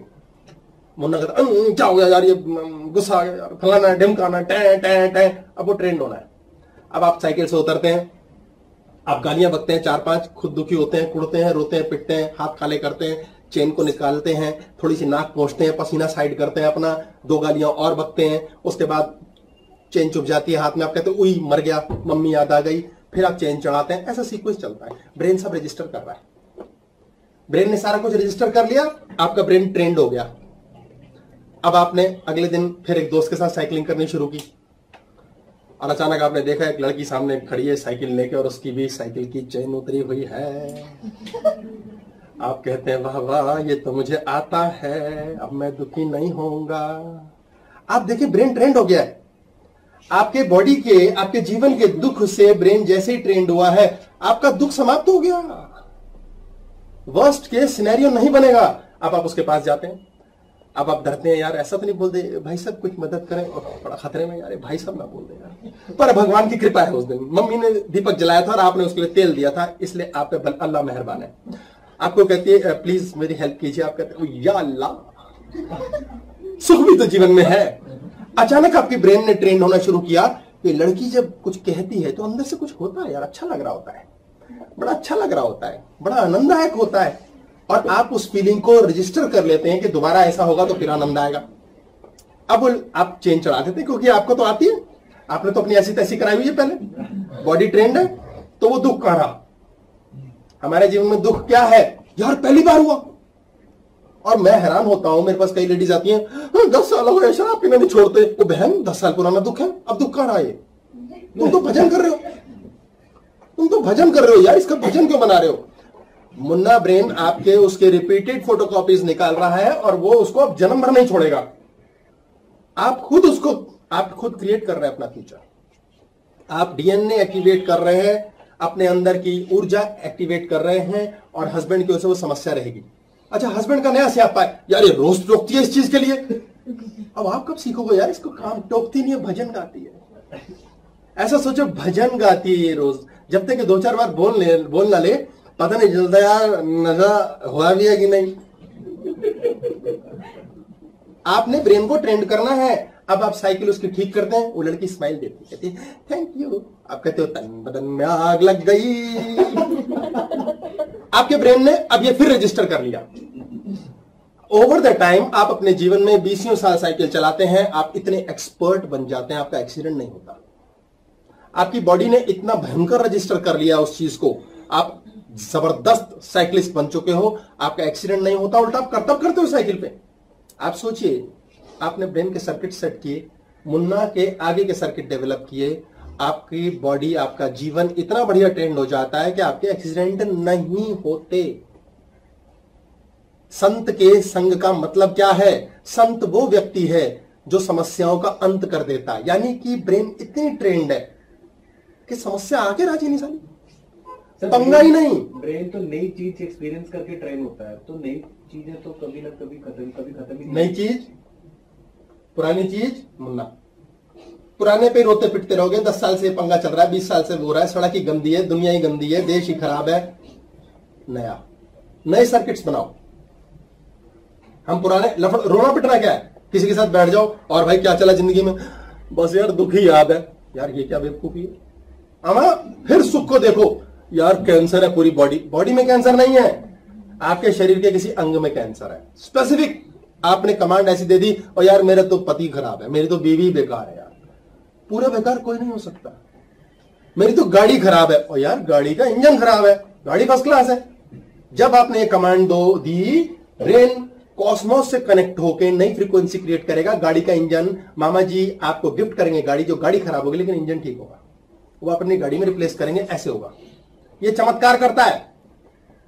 बीसियों साल बाद आप जब परफेक्ट साइकिलिस्ट बन जाते हैं, और उसके बाद आप देखते हैं एक लड़की की साइकिल की चेन गिर खराब है, पर वो स्माइल देगी तो आप जान चुके होते हैं, ये बहुत खतरनाक स्माइल है। ना मुन्ना, अब ना फंसूँगा आपने अपने जीवन में शिक्षित होकर जितने नए सर्किट्स ब्रेन के बनाए हैं, उतना आपका जीवन बेहतर हो रहा है। आपके ब्रेन ने आपको साइकिल से गिराया, आपके ब्रेन ने ऐसा ट्रेंड किया साइकिल से गिरोगे ही नहीं। आपके ब्रेन ने आपको समस्या दी, आप बीमार हुए, आपको पैसे की दिक्कत आई, अगर आप ब्रेन को ट्रेंड करो तो क्या ये उड़ाना देगा? क्या पूरा कायनात, पूरी कॉस्मोस लग ना जाएगी आपका काम करने में? क्या आपके जीवन में बहुत चमत्कारी चीज़ें प्राप्त नहीं होंगी? जिनको होती है, उनको कैसे होती है यार? बड़े बड़े चौथी फेल बंदे होते हैं, बेवकूफ़ होते हैं, आधे पागल होते हैं। आधा पागल बहुत अच्छा होता है। उसे अंदर जाना आता है आधा। और पूरा पागल पूरा अंदर जाना आता है। जब आप पूरे अंदर आना जान जाते हैं तो आपके जीवन के अंदर शाही सवारी काम करती है। और जैसे ही मुन्ना को, मन को, ड्राइवर को पता चलता है, पीछे बैठे हैं मालिक और हमारा ध्यान मालिक की ओर है। ड्राइवर तमीज से चलने लगता है और जो समस्याएँ आनी है, वो सुधार देता है उल्टा। आप मन की एक्स्ट्रा रिज़र्व शक्ति से शरीर को ठीक कर सकते हैं, जीवन की समस्या ठीक कर सकते हैं। आपको ईश्वर के साथ रहना। ईश्वर की गोद में रहना है। कैसे रहना है? बस जानना है यार, है। ईश्वर है अंदर, बैठा है यार वो। अगर वो अंदर नहीं बैठा है तो ये नहीं चलेगा। आँख खोल के नहीं दिखेगा। कान से सुनाई नहीं देगा। छूने पे महसूस नहीं होगा। मलमूत्र नहीं बनेगा। शरीर स्वयं एक मल की भट्टी बन जाएगा। आपके अंदर ईश्वर है। सिर्फ़ इतू सा सोच है, ये ऑन रखनी है, बस खत्म। अंदर बाहर नहीं। बाहर भी है, अंदर है। आपकी शाही सवारी के साथ आप बैठे हैं, आप ईश्वर के किंग के साथ बैठे आपको कोई छू सकता है। आप स्वयं सोचिए। आप किसके साथ बैठे हैं? आप बैठे हैं, यार कितना स्यापा है लाइफ में, इसके साथ बैठे हैं। और यार कितना लफड़ा है यार लाइफ में। और यार दोस्त कितने घटिया मिले हैं मुझे यार। और यार मेरे तो पेट खराब है यार, ये पचता ही नहीं। आप इसके साथ बैठे होते हैं अक्सर। आप रेस्टोरेंट में बैठे किसके साथ बैठे हैं? आप मोदी के साथ बैठे हैं तो साला हर खाना टेस्टी है। आप पड़ोसन के साथ बैठे हर खाना टेस्टी है। आप अपने पर्सनल खुद के रिश्तेदार किसी के साथ बैठे हर खाना खराब है। क्योंकि आपके मुन्ना के साथ रहने मात्र से आपके जीवन में नर्क आना शुरू हो जाता है। मुन्ना इज़ डेविल बॉडी एक डेविल बॉडी होती है और एक स्पिरिट बॉडी है। आप यूँ ही कुर्सी से गिर गए, हड्डी टूट गई डेविल बॉडी ऑन है। आप मुन्ना के साथ थे। आप भयंकर रोड पे गाड़ी के साथ एक्सीडेंट हुआ, गाड़ी का कचूमर निकल गया, आपका कुछ नहीं हुआ। आप अल्लाह के साथ थे, ईश्वर के साथ, प्रभु के साथ थे। आपकी बीवी ने आप पे अटैक किया। सुनते हो जी! आप भगवान के साथ हो। थोड़ी देर में वो आपकी सुनने लगेगी। ये जादू बता रही हूँ मैं सबको। सारे सताए हुए जो हैंगे, वो जान ले। और जैसे ही आप अपनी पत्नी से कोई शिक्षा देना चाहते हैं, और वो अगर मुन्ना के साथ बैठी है तो आप मर थक जाएँगे, कुछ नहीं होगा। आपको स्वयं ईश्वर के साथ होना है। आपको स्वयं हर समय सोचना है, स्त्री भोजन बनाती है, क्यों घर पूरा बढ़िया चलाती है, कैसे वो घर की लक्ष्मी कहलाई जाती है? वो ईश्वर के साथ होती है, पूर्ण कर्तव्य के साथ करती है। स्त्री में ये मोह माया लोभ लालच नहीं होता कि मेरा घर है या इसका घर है। वो ये नहीं सोचती, इसका है तो भी ये मेरा ही है। ये मेरा नहीं है पति, पर मैं इसकी ज़रूर ये उसकी ग्रेटनेस है, बड़ी महानता है। कमियाँ है, अच्छाइयाँ भी देखनी है। कमियाँ किसमें नहीं है? हर फूल में कांटे हैं। आपको फूल देखना है। हम ब्लडी फूल देखते रहते आपने मुन्ना के साथ सवारी करनी है या ईश्वर के साथ सवारी करनी है? दोनों है, आप देख के डर रहे हैं। आपकी समस्याएँ यूँ उड़ जाएँगी। क्योंकि ईश्वर ने जो करना है, वो मेडिटेटिव स्टेट ऑफ़ माइंड पे करना है। तो सबसे पहले क्या करना है? आँखें बंद। कान बंद। जबान बंद। और एक अविश्वसनीय भरोसा लेके चलना है। फियर ये मुन्ना का वेपन है, मन का अस्त्र है, ये गायब हो जाता है अगर आपके पास ट्रस्ट हो। ये गॉड है। आपको भरोसा है है, होगा, सब ठीक होगा। जो होगा, ठीक ही होगा। भाई सब सवाल ही पैदा नहीं होता, कुछ गलत हो सकता है संसार में। अगर आप ये सोचने लग गए, गलत हो सकता है तो आपकी सांस गलत होने लग जाएगी। सबसे पहले सांस उखड़ती है टेंशन में। आप टेंशन करना शुरू करो और एक वीडियो बनाओ अपना। आप देखेंगे आपकी सांस उखड़ रही है। आप सेल्फ इंप्रेस बनो सांस उखड़ेगी। ऊपर से दिखावा करते हैं कहीं अंदर से कुछ ऊपर से मुन्ना ही करता है वो भी ट्रस्ट अंदर तो जाने नहीं देता वो। ऊपर से हम विश्वास करते हैं अंदर से शक करते हैं। इसलिए पत्नी जब शक कर रही है तो समझो सत्य है। हाँ जी। में भी सांस उखड़ती है। यस विश्वास और आत्मविश्वास। अत्यधिक आत्मविश्वास अंधा विश्वास ये मल्टीपल किस्म के विश्वास है। आपकी सांस ना उखड़े, आप झूठ बोलने की कला भी जानते हो तो कृष्ण भक्त बनो, कुछ भी बोलो, यार साला सब सर्टिफाइड कृष्ण ने क्या कहा? ये अच्छी बात, वो गंदी बात, सब लीला है, सब लीला है नो टेंशन एक लियो टॉल्स्टॉय की कहानी है, बड़ी खूबसूरत। एक बार यमराज ड्यूटी लगाता है एक देवदूत की, कि नीचे धरती पर एक लेडी मर गई है, जाओ, उसकी आत्मा लेकर आओ। तो देवदूत वहाँ जाता है और लेडी मरने को तैयार होती है। बिल्कुल समझो, अंतिम पंद्रह साँसें बची हैं उसकी। वो खिड़की से देखता है, साँसें गिनता है और फिर कहता है, ले जाना है। इतने में देखता है, तीन छोटी छोटी दूध मुही बच्चियाँ माँ के इर्द गिर्द घूम रही हैं। और इतना ध्यान देता है तो पाता है कि यार इतनी गरीब है वो। उसके पल्ले खाने को दाना नहीं है। कैसे पाले पोसे? लोग घरों में काम करती है, बच्चियाँ भी पाल रही है। पति छोड़ के भाग गया। तीन बेटियाँ छोटी छोटी जुड़वा इकट्ठा पैदा हुई अब वो बड़ा पसीज जाता है। साँसें गिन रहा है, इतनी बची हैं, आत्मा ले जानी है, हाय मैं क्या करूँ, हाय मैं क्या ना करूँ, हाय मैं क्या करूँ, हाय मैं क्या ना करूँ। और आत्मा उसकी निकलती है और वेट करती है, देवदूत उठाए तो बच्चियों को रोता देखता रहता है। उसके आँसू निकल आते हैं। कहता है, अरे, कैसा है भगवान, निष्ठुर, इतना न्याय, ये कैसा, ये तो धर्मराज नहीं है, अधर्मराज है यार, ये पाप है, देखो, इतनी भूखे, इतने गरीब तीन बच्चियाँ, तबाह, ये जीवन है। मैं कैसे ले जाऊँ इसकी आत्मा? धर्मराज कहता है, यार लेट हो गया, इनके तो स्कूटर में टायर भी नहीं होते, पंचर तो नहीं हुआ। क्या चक्कर आया क्यों नहीं अभी तक? वो दो बंदे और भेज देता है। वो वहाँ जाते हैं, देखते हैं, वो बैठा रो रहा है। एक उसको पकड़ता है, दूसरा उसकी आत्मा लेके चल देता है ऊपर। धर्मराज के पास पहुँचते हैं। वो कहता है, क्या हो रहा है ड्रामा तुम्हारा? तुम्हें उसकी आत्मा लेने भेजा था। कहता निष्ठुर अन्यायी, ईश्वर का कैसा न्याय है ये?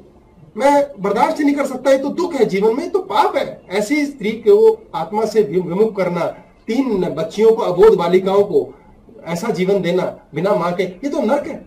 ऐसा पाप मैं कैसे करूँ? धर्मराज कहता है, हमें नियम नहीं है ईश्वर के कार्य में दखल देने का। सूरज जब आएगा, सूरज जब जाएगा, ये ब्रह्मांड को चलाने वाली इंटेलिजेंस जानती है। आप ये बात ध्यान दे के चलें, कोई ना कोई ब्रह्मांड में कॉस्मोस में शक्ति है। जो इतने बड़े बड़े ग्रहों को तारामंडल में फिक्स चला रही है। ये अचंभित करने वाली बात नहीं लगती वैसे आपको? कि यार हमारे पास ज्योतिष के थ्रू ये गणनाएँ होती हैं कि इतने बजे सूरज डूबेगा, इतने बजे आएगा। इतने साल बाद चंद्र ग्रहण लगेगा, इतने साल बाद सूर्य ग्रहण। मैथमेटिकल कैलकुलेशन एडवांस में की जा सकती है। वी ऑलरेडी नो यानी एक फिक्स सिस्टम पे चल रहा है।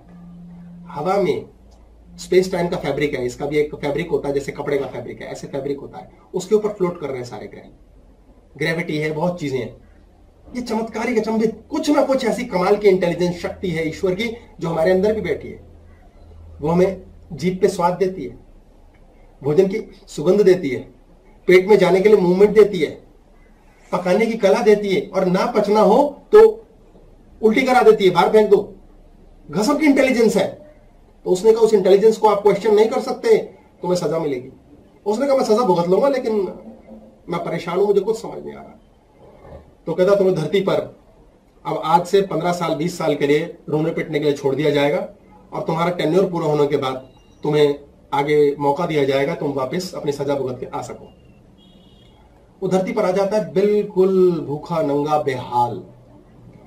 हर रोज भिखारी जैसी स्थिति उसकी। दुखी हो जाता है पाँच सात साल में। बड़ी प्रार्थना करता है। दूसरे देवदूत को पकड़ता है, कहता है, भाई, मेरे लिए प्रार्थना करा दो यार अमराज से वाकई दुख है यार यहाँ तो मैं वापिस आना चाहता हूँ। कहता, भाई, अब तेरे सजा है टेन्योर है, मैं पता कर लेता हूँ।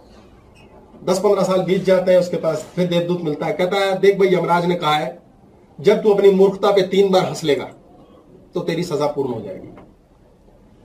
तो पंद्रह बीस साल के बाद एक सर्द रात में वो बिना खाने पीने के दो जोड़ी मरे पिटे फटे कपड़ों में सड़क पर पड़ा होता है, बस यार मौत ही आ जाए साला। खत्म ही करूँ यार, मौत भी नहीं आती यार। सोचिए, मौत भी हमारी मर्ज़ी से नहीं आती। मुन्ना कहता, मरना है, नहीं आती। भोग है, भोगो। अब वो तड़प रहा है। इतने में वहाँ से एक मोची गुजर रहा होता है जो जूते बनाता था। और वो देखता है कि आदमी करा रहा है, साइड पे सड़क पे पड़ा हुआ। और वो कहता है, यार बस आज मैं बच्चों के लिए कंबल ले जाने हैं, कपड़े ले जाने हैं, कुछ खाना ले जाना है। आज मैं किसी को नहीं देखूँगा। पर वो इतना करारा होता है, इतना दर्द होता है उसकी आवाज़ में, वो कहता है, यार, मैं मतलब बर्दाश्त नहीं हो रहा। वो जाता है उसके पास, उसे उठाता है और उसके लिए कंबल खरीदता है। बच्चों के लिए कपड़े लाया होता है, उनको एक्सचेंज करता है, उसके लिए कपड़े देता है। कहता पहन भाई, अब तू मेरे से रहा नहीं जा रहा, मैं क्या करूँ? यार, मैं मजबूर हूँ। मेरे को पता है, मेरे को नहीं लेना है। अपने बच्चों का खाना, अपने बच्चों का कपड़ा मैं तुझे दे रहा हूँ। मुझे नहीं करना चाहिए, लेकिन नहीं रुक सकता। अब वो दे देता फिर वो कहता मैं करूँ क्या? अब तू कहाँ रहेगा? भूखा नंगा है, तेरे पल्ले कुछ नहीं। इतनी दया तो करी थी तेरे पे, अब मैं क्या करूँ? कहता मुझे रात गुजारने के लिए कहीं जगह दे दो। कहता चल फिर मेरे घर चल। रास्ते में उसे समझा देता है, ऐसा है। मेरी पत्नी इंद्र से वज्र लिया हुआ उसने उधार। तेरे धरेगी कई बार। चुप रहना। कहता चुप रहूँगा मन में सोचता यार, पहली बार इतने सालों में किसी ने दया की है मुझ पर पता नहीं क्या कृपा होने वाली है यार। बताओ। आज देवदूत की ये हालात है, जो लोगों को श्राप वरदान दे सकता है जिसका ये हाल है क्या दया पे भीख पे चल रहा है। सोच रहा है, विचार चल रहे हैं अंदर मन में। घर जाता है और लठैत शुरू हो जाते हैं और तेल पानी सब बराबर करते हैं हस्बैंड का भी कर देते हैं और उसका तो कर ही देते हैं। अब वो बोलता रहता है, चुप रहो, कोई बात नहीं, गरीब है, बेचारा चला जाएगा चला जाएगा चला जाएगा। तो देवदूत पहली बार हंसता है। कहता है, यार, सोचो, कैसी मूर्ख स्थिति है देवदूत घर में किसी के आया और वो उसे गालियाँ बक रहे हैं। कहता, लेकिन भोग है यार, भोग है। बोले, मेरे, इसे कृपा लेने के लिए मैं लाशें तो लाता ही था, मौतें तो करता ही था, आत्माएँ लाता ही था, लेकिन धन भी देता था और मैं कितनी शक्तियों का स्वामी हुआ आज मेरे को गालियाँ पड़ रही है, पर भोग है। तो हंसता है तो उससे वो पूछता है, मोची, क्यों हंस रहे हो? कहता, बड़ी लंबी कहानी है यार, क्या सुनाऊं तुझे इतनी हिस्ट्री अब मैं चला जाऊँगा दो चार दिन में, देखता हूँ। तो उसको रख लेता अपने पास, ज़बरदस्त बर्फबारी होती है। अब वो घर बैठा, बाहर क्या निकले, कहाँ जाए? मोची से पूछता, भाई, काम क्या तुम्हारा? बोले, मैं जूते काटता हूँ। अब वो ठहरा देवदूत कहता, मुझे सिखाओ। वो एक घंटे में सीख जाता अब जो उसके पास पेंडिंग काम होता है, हफ्तों हफ्तों का, वो उसको दस दिन में बना के तैयार। वो कहता है, यार, कमाल कर दिया इसने क्या हाथ में हुनर है इसके? क्या जादू है यार? भाई, डेढ़ महीना बीता नहीं होता, उनके घर के अंदर अन्न की ढेर लगा हुआ है। पैसा आना शुरू हो जाता है। कहता है, यार, कमाल हो गया। कहता यार, भगवान की बड़ी कृपा है, मुझ पे है। तू मुझे कहाँ से मिला और तू तो बड़ा कारीगर आदमी है। अब देवदूत कहता है, मैं क्या बताऊँ? मेरे क्या तोते उड़े और मैं क्या करने आया हूँ धरती पे? तीन महीने के अंदर उसकी ख्याति इतनी हो जाती है कि नगर सेठ के जूते गांठ लेता है वो। बड़े बड़े रिच लोगों के जूते गांठने लगता है और वो जूते कहीं सम्राट देख लेता है। सम्राट कहता मुझे भी चाहिए ऐसे। अब वो सम्राट के जूते बनाने लगता है। वहाँ कुटिया की जगह खुद उसकी बिल्डिंग बन जाती है। ज़मीन का स्वामी, पशु ढेर सारे, वो कहता है, यार, कमाल हो गया। अब धन धान्य तो आना ही है। भाई, देव कृपा आएगी। धन धान्य तो छोटी सी चीज़ दी है। आप फिर सोचे, हमारे पे कृपा होती है जब तो चीज़ें आती हैं। जब स्पिरिचुअल बॉडी ऑन होती है तो सब कुछ मिलता है। जब शाही सवारी कृपा ईश्वर देने वाला बैठता है तो सब देता है। जब मुन्ना ऑन होता है तो सब लेता है। मुन्ना गाड़ी के टायर भी घिसता है, मुन्ना हमारी लाइफ की जेई तेई भी फेरता है ब्रेक शू भी खराब करता है, और वो गाड़ी का इंजन गर्म भी करता है। अब तीन तीन चार महीने भी और बीत जाते हैं, एक दिन सम्राट के यहाँ से आता है, जी स्पेशल चमड़ा आया है। और इसके जूते बनाने हैं तुम्हें। और याद रखना, जूते बनने चप्पल मत बना देना। अगर तुमने चप्पल बनाई तो फांसी पे लगा देगा तुम सम्राट। वो कहता, नहीं यार, सम्राट का आया, फिर से ऑर्डर आया तो और फिर इसमें तो वो शाही सोने के सिक्के देता है वो तो भैया तो गलत हो ही नहीं सकता। और अब तो मशहूर हो चुके हैं, हम तो देश विदेश साला, हमारे तो ब्रांचें खोलने की तैयारी है। अब वो दे देता है देवदूत को। वो ठहरा देवदूत। उसे पता ही होता है काल, समय, चक्र क्या है। वो उसका फिर भी चप्पल बना देता है। अगले दिन आता है वो मोची देखता है, कहता है, ये क्या क्या मूर्ख तो है? चप्पल बना दी। हमारे यहाँ जब सम्राट मर जाता है, तब चप्पल बनती है। जब ज़िंदा होता है, तब जूते पहने जाते हैं। ये तूने क्या कर दिया? और वो छड़ी लेकर उसे मारना शुरू कर देता है। कहता है, बर्बाद कर दिया तूने मुझे। अब तू मुझे फांसी चढ़ाएगा।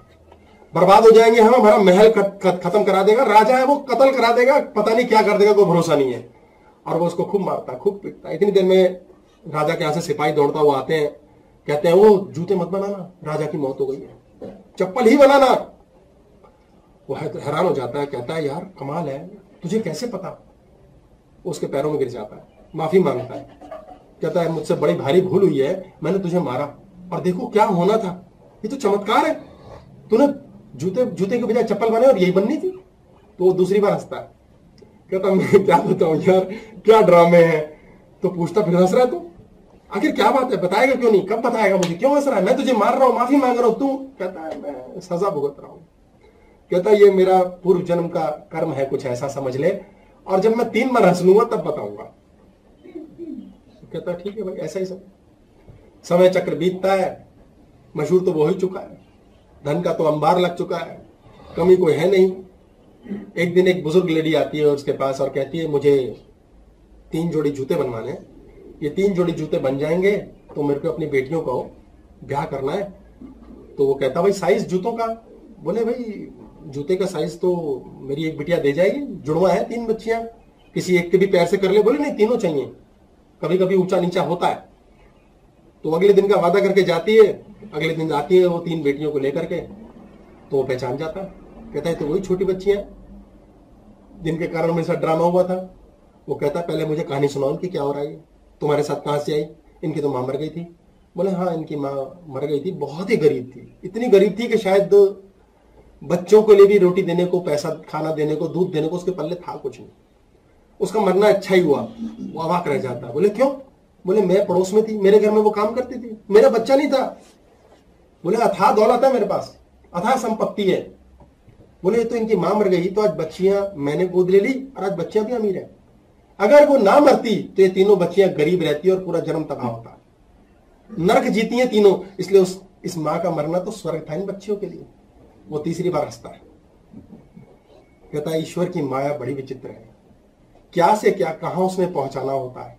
और हम मूर्खे बीच में, पंगे ले रहे हैं। मोची आके पकड़ते हैं तीसरी बार ऐसा क्या हुआ? अब तो बता दे, कहता मैं चला। और वो निकल लेता है। तो प्रभु के सिस्टम, गॉड के सिस्टम जो शाही सवारी है, उसके सिस्टम बड़े निराले हैं। वो करेगा कुछ नहीं, वो बोलेगा कुछ नहीं। उसका नियम, उसके नियम बड़े सुंदर हैं। उसके क्या नियम है, वो क्या करता है, ये इस ब्रेक के बाद बात करते हैं। तो भाई, भगवान के साथ करना क्या है? भगवान के साथ रहने के लिए क्या क्या काम कर रहे थे? गॉड प्रिंसिपल्स गॉड गॉड का काम क्या है? गॉड का पहला काम है, अगर गॉड के साथ रहना है गॉड की ओर ध्यान देना है तो गॉड जैसा बनना है। तो गॉड आपके लिए सारे काम करके देगा। गॉड का प्रथम कार्य है चुप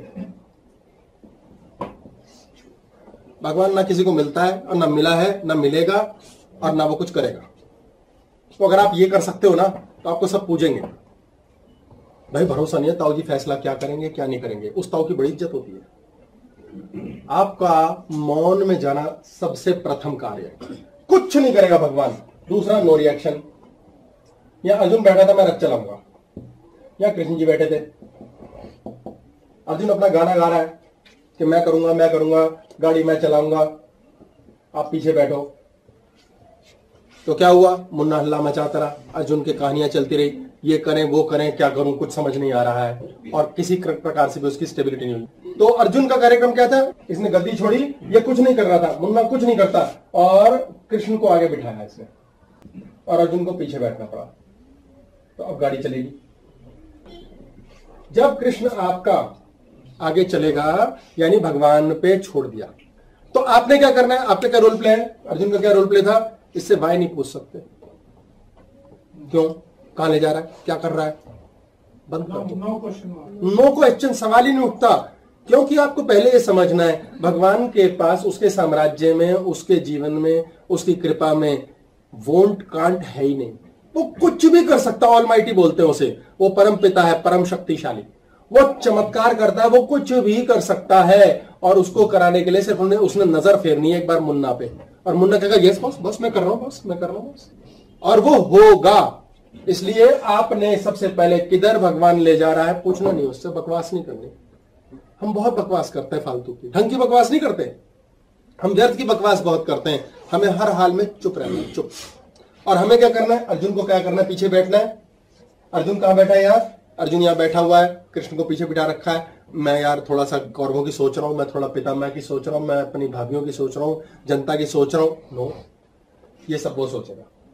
कृष्ण सोचेगा इसका काम, भगवान पे छोड़ आपको पहला काम क्या करना है? स्वयं में स्थित होना है।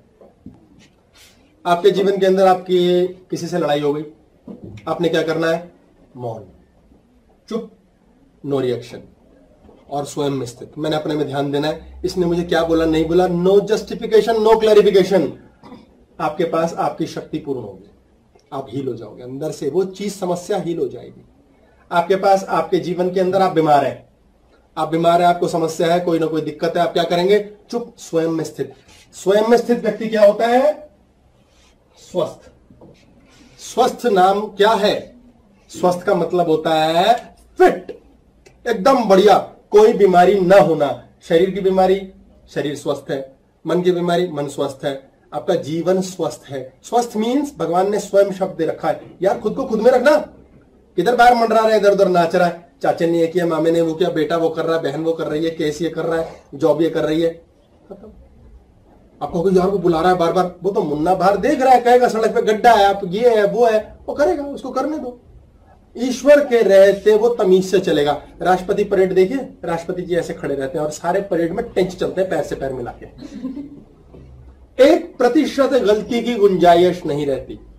आप स्वयं में स्थित है, इसे स्वस्थ बोलते हैं। स्वस्थ फिट है यार लाइफ आपकी लाइफ में हम समस्या क्या पैदा करते हैं? एक व्यक्ति की दूसरे से लड़ाई होती है। 20 परसेंट, इसने इसके बारे में सोचना शुरू कर दिया 80 परसेंट अपने पास रह गया। अब इसके पास क्या है? 80 प्लस 20 सौ पूरा नहीं है। यह व्यक्ति अधूरा है।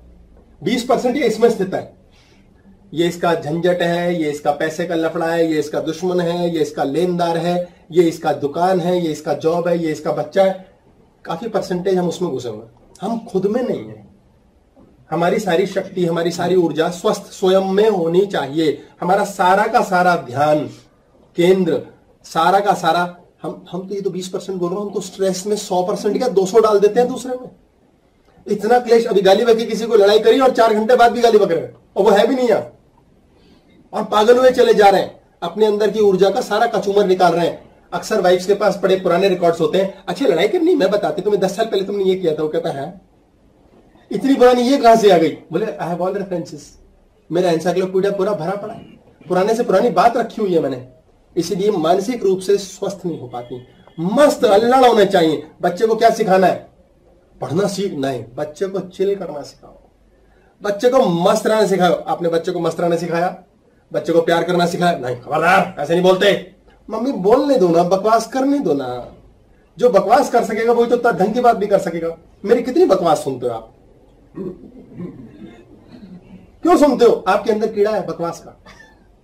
वो कीड़ा कुलबुलाता है बड़ा मज़ा आता है। ये बहुत बकवासी आदमी है यार। है? ऐसी बकवास करने का मन तो बड़ा करता है। बीच बीच में फुलझड़ियाँ और बकवास ये क्यों है? ताकि आपको ये स्वतंत्रता मिले कि ये भी आवश्यक है। लोग परफेक्शनिस्ट बनना चाहते हैं। परफेक्ट होना चाहिए। बड़ा बर्डन है। बड़ा बर्डन है बड़ी सजा है। अरे थोड़ी सी गलती करने में बड़ा मज़ा है। यार पोएम बन गई तो। क्योंकि आपने इतना स्यापा बना दिया है थोड़ा सा मन को भी कर लेने दो। बस आपका ध्यान प्रभु की ओर होना चाहिए कि ईश्वर बैठा है, साक्षात है। मन थोड़ा सा गाड़ी उछालेगा थोड़ा सा दाया दाया मुड़ेगा थोड़ी सी चंचलता तो करने दो। कुछ तो प्रसन्नता मन की भी कर लो। कभी कभी ईश्वर के साक्षी भाव में उसको जानते हुए विटनेसिंग करते हुए फालतू खा लो यार। कभी कभी नियम भी तोड़ दो कभी कभी उपवास भी छोड़ दो। उससे क्या होगा? जीवन में नवीनता आएगी। और मन आपका साथी बनेगा, जिसके पास आपका पूर्ण जन्म का भाग्य है। यदि वो साथ देगा, तभी तो भाग बदलोगे। भाग बदलेगा कैसे? आप अपने मन को जब समर्पित कर बैठते हो किसी के चरणों में, जिसे हम गुरु शब्द कह बैठते हैं, ईश्वर कह बैठते हैं, राम कह बैठते हैं तो क्या करता है? मन शांत हो जाता है। हमारा मन ही तो कुलबुल कुलबुल कुलबुल नाच रहा है। आपका मन शांत हो गया। शांत स्थिति में क्या होगा? शांति से सांस चलेगी। प्राणवायु क्या है? यही ईश्वर की धारा है। अगर ये बंद तो हमारी टय ये ज़िंदा चल रहा है तो हम ज़िंदा। यानी प्राणवायु के लिए दस बार, तीन बार दिन में, दस बार एक बार, तीन बार दिन में यौगिक ब्रीदिंग अवश्य करें। इससे क्या होगा? प्राण है। यही मुन्ना नाचता है या ब्रेथ की क्लास की है इसके ऊपर। या अंदर। सांस के घोड़े पे चढ़ के बहुत सारे विचार आ गए। खट खट खट खट खट खट। बाहर फेंका, सांस के घोड़े पे चढ़ के बहुत से विचार बाहर चले गए। आपने कौन से विचार लिए? आपने कोसना शुरू किया। ये बुरा, वो बुरा, ये गंदी बात, वो गंदी बात। और ये सांस अंदर। आ गए अंदर। और आपके अंदर मल्टीप्लाई हो गए। आप बाहर छोड़ते हुए ये सब नहीं नष्ट कर रहे हैं। इसलिए प्राण वायु की चंचलता समाप्त करनी ज़रूरी है। प्राण वायु में चंचलता मीन्स मुन्ना ऑन जीवन में कष्ट। प्राण में स्थिरता मीन्स मोक्ष। आपकी सांस नाभि तक जाए। पेट बाहर। सांस बाहर, पेट अंदर। दस बार, अगर आप एक बार भी, एक बार के बैठने में दस बार इसे कंटिन्यूसली बिना तोड़े कर सकते हैं तो किसी लायक हैं आप। आगे का मैं सिखा दूँगा। तीसरी से चौथी बार में सांस फट जाएगा, कहेगा, एक मिनट नॉर्मल लेना यार। ऐसे बॉडी करेगी, क्योंकि मुन्ना का भयंकर इन्फ्लुएंस है। यानी आप मन के अधीन है। प्राण की चंचलता समाप्त करना, रोकना, स्थिरता लाना, आपकी बॉडी फिट पूरा योगा का योगा बेसिकली आत्मा का परमात्मा से, परमपिता से, बड़ी बैटरी से, छोटे बैटरी, छोटे स्टेशन हाउस का, बड़े स्टेशन हाउस से बिजली के कनेक्शन को बनाना होता है। जब ये योगा होता है, युति कहते हैं इसको, दो इकट्ठा साथ चले तो कॉस्मोस और हम एक फ्रीक्वेंसी पे वाइब्रेट करते हैं। हमारा इलेक्ट्रोमैग्नेटिक सिग्नल कॉस्मोस सुनती है और वो काम कर देती है। हमारे सिग्नल ही गंदे होते हैं। हम रोना, पिटना झहझे झहझे और इसकी बुराई, उसकी बुराई करते रहते हैं। बीस बीस परसेंट करके औरों की ही खोपड़ी में घुसे रहते हैं, औरों के बारे में सोचते रहते हैं। हम स्वयं में सौ परसेंट नहीं होते। जब स्वयं में सौ परसेंट होते हैं तो हीलिंग स्टार्ट होती है रॉकेट की तरह। गोली की तरह हीलिंग स्टार्ट होती है। आप उस समस्या का मनन कीजिए। मनन मीन्स विचार। प्राणवायु सेट रखिए और मौन। आपका जो चीज़ खराब है, उसमें मौन। मुन्ना अंदर हल्ला मचाएगा। नहीं, गलती तो उसकी है। तेरी तो है नहीं। देख, उसने उसने ये किया था, भाई, तूने इसलिए ऐसा किया तो उसने उसने अगर ये ना किया होता तो तू तो मतलब करता ही ना कभी। मुन्ना का सिंपल फिलोसफी है, भाई, हम तो गलत है ही नहीं। ये फिलोसफी आउट गलत वो भी नहीं है। गलत कोई है ही नहीं, अपने हिसाब से तो सारे ही सही है। ये मुन्ना का नाच बंद प्राण की चंचलता समाप्त और मौन। आपको प्रसन्न होना है, मौन। अपने में सौ परसेंट स्थित हो जाओ। मुन्ना बकवास करता रहता है, बातें करता रहता है, अंदर ही चलती रहती पूरी लेक्चर पूरी बात। उस पर ध्यान दो, यार क्या क्या क्या सोच रही दिमाग क्या सोच रहा है आलतू फालतू? कुछ ना कुछ साला बकवास की जाते आप जब स्वयं में पूर्ण होते हो, आपके अंदर मौजूद वाटर एनर्जी बहत्तर प्रतिशत हमारे शरीर में जल तत्व है और ये बॉडी ब्रेन है, ये टिंकू है। और इतना ही जल धरती पर भी है। ये सिंक होती है हमारी बॉडी मज़ाक नहीं है। ये फिगर्स बेफालतू में नहीं है साइंटिफिकली प्रूवन है। हमारे शरीर का बहत्तर परसेंट बॉडी का ब्रेन पानी भरपूर होता है।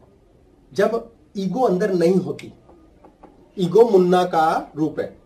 मुन्ना क्या करता है? अबे देख लूँगा तुझे। अभी देख ले भाई। कब देख लूँगा? बाद में क्या देख लेगा?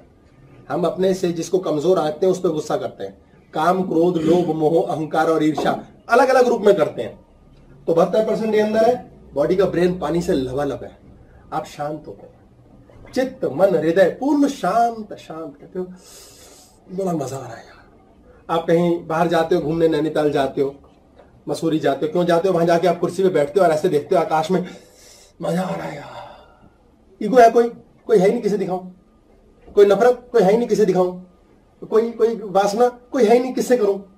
और आप बहत्तर परसेंट फुल होते हो, आप कहते हो, यार, ये यार, ये ना यार, वो ना यार, है, मज़ा ही है यार यहाँ पे, आप फिर आएँगे यार। चार दिन बाद आते आप उसको छोड़ देते हो, अंदर का फुलनेस समाप्त, फिर झगड़े शुरू। अंदर जगह क्या भर जाती है? इस ब्रेन के अंदर मुन्ना जगह भर लेता है। ये पानी हमारा जल तत्व है, इसको सिकोड़ देता है और यहाँ ईगो आ जाती है। मैं ये कर दूँगा, मैं वो कर दूँगा, मैं ऐसे कर दूँगा, मैं वैसे कर दूँगा। ईगो वाला व्यक्ति कभी भक्ति में नहीं जाता, कभी झुकता नहीं। आपने देखा जब आप झुकते हैं, प्रभु की बात करते हैं, ईश्वर की करते हैं, बड़े की करते हैं, ऐसे सारथी की करते हैं, ऐसे कृष्ण की जो हमें महाभारत जिता दे। आप नमन करते हैं, झुकते हैं, आपके आँसू निकल आते हैं। बॉडी में बहत्तर परसेंट रश ऑफ़ इमोशन आता है, पूरा जल तत्व तो कहता है, बाहर निकल। आँसू बाहर निकल आते हैं, लोगों की रोते रोते नाक भेज जाती है। जल तत्व बाहर आता है, मन पूर्ण होता है, हृदय पूर्ण संतुष्ट होता है। और अगर आप ईगो हो, आप कभी नहीं रोगे आप कभी रोगे ही नहीं, जल तत्व पूर्ण है ही नहीं। जल तत्व जब पूर्ण है, बहत्तर प्रतिशत पूर्ण है। इसके ऊपर क्लास की इंग्लिश की है एनर्जी एंड मैटर ये कन्वर्जन बताया हुआ है। उड्रू उड्रू में भी बता रखा है मैंने। आपने ये बहत्तर परसेंट पूर्ण किया, आप पूर्ण रूप से ईश्वर के साथ हैं। आप कुछ भी मैनिफेस्ट कर सकते हैं। सबसे पहले से पूर्ण करना है। पूर्ण करने के लिए ego out Munna out ego out नहीं होगी, वो फंसेगी, वो रुकेगी। मुन्ना रुकेगा। आप छोड़ दो उसको। आप स्वयं में स्थित हो जाओ और सोचो, है? शाही सवारी साथ है? भगवान बैठा है यार। रार घर में ये होगा। बॉस ये करेगा। ऑफ़िस में ऐसा भगवान बैठा यार अंदर है वो जो करेगा यार मैं क्वेश्चन नहीं करूँगा गलत सही। वो करेगा सब सही। करना ही है। जब उसको दे दिया परम पिता को गाड़ी चलाने को वो कैसे गलत करेगा? हाँ जी बोलिए। दुख में भी तो आँसू निकलते हैं या आदमी बिल्कुल बिल्कुल भर जाते हैं। तब भी क्या हम ईगो समाप्त हो जाती है ना। ईगो का स्थान नहीं है। तो हम दुखी हुए। आत्मा ऐसी हो गई भर गई तो बाहर निकल आता है। अनियंत्रित हो जाता है जल। इसलिए हृदय से स्थिति ऐसी बन जाती है कि ईगो आउट हो गई है। असहाय व्यक्ति है दुखी है डरा हुआ है। या मैं कुछ नहीं कर पा रहा। ईगो टूट गई उसकी। वो घबराया हुआ है पिटा हुआ है। उसकी भी ईगो समाप्त है बाहर आ जाएगी। किसी की मृत्यु में भी हमें रोना आ जाता है। करुणा आती है प्रेम टूटता है। दिल जो है इतने बिग साइज़ का हो जाता है हमारा जब ईगो टूटती है तो। जब दिल का साइज़ एक्चुअल आता है हार्ट पेशेंट मींस ईगो बहुत रखता है। पैंक्रियास पे इफ़ेक्ट आता है इसका। आपका दिल जो है ये मेडिकली प्रूवन है। जिस समय आप जॉय में होते हैं जॉय मज़ा आ रहा है, मज़ा आ रहा है। उस समय दिल एंटी कैंसर हॉर्मोन्स फेंकता है बॉडी में। एंटी डिप्रेसिंग हॉर्मोन्स फेंकता है। ईगो को नष्ट करने से होता है। और जब दिल में ऐसी खुशी होती है ना, मज़ा आता है यार अच्छा लग रहा है अच्छा लग रहा है। उस समय आपका हृदय ब्रेन को कमांड देता है। अब ये पिट्यूटरी को जाता है हाइपोथैलेमस जाता है एंडोक्राइन सिस्टम सारी कहानियाँ, एकदम फिट चलता है। रॉकेट की तरह चलती है बॉडी जैसे ही आपके अंदर रॉकेट की तरह सब कुछ चल रहा है ब्रेन क्या सर्किट्स बना रहा है? परफेक्ट सर्किट्स आप साइकिल से कभी नहीं गिरे आप जीवन में कभी गिरोगे ही नहीं। ईगो खत्म ईगो खत्म करने का मंत्र है। मंत्र सिखा दू मैं? यार इधर वालों तो आवाज़ ही नहीं बताई वो मैं नहीं सुनिया वो आगे वाले वो पीछे वाले। हमारा ज़ोर से बोलो। ये मंत्र है। आपके अंदर से ये हँसी निकल आई, ये मंत्र है। आप में हा हा हा हा हा, ये निकल गया, ईगो को जगह ही नहीं मिलेगी। इस छोटे से एक क्षण के अंदर आपके हृदय ने नाच किया है। इस छोटे से क्षण के अंदर आपको एक भी लफड़ा याद नहीं आया है। एक क्षण के लिए भी आपने पाँच क्षण के लिए किया, दस सेकंड के लिए किया, ये आप भूल गए यार, कोई लफड़े थे भी। इतने से टाइम के लिए हार्ट गैदर हुआ दोबारा पंप अप हुआ इसे बड़े बड़े कंपनीज़ के लोग हैं जो डी स्ट्रेस कराते हैं लोगों को। बहुत से ऐसे कोर्सेज कराए जाते हैं कि वो खोपड़ी जो है शांत करें, ताकि वो मैनेजमेंट अच्छी कर सकें। बड़े बड़े कॉपरेट्स कराती हैं। वो सिंपल यही एक्सरसाइज है।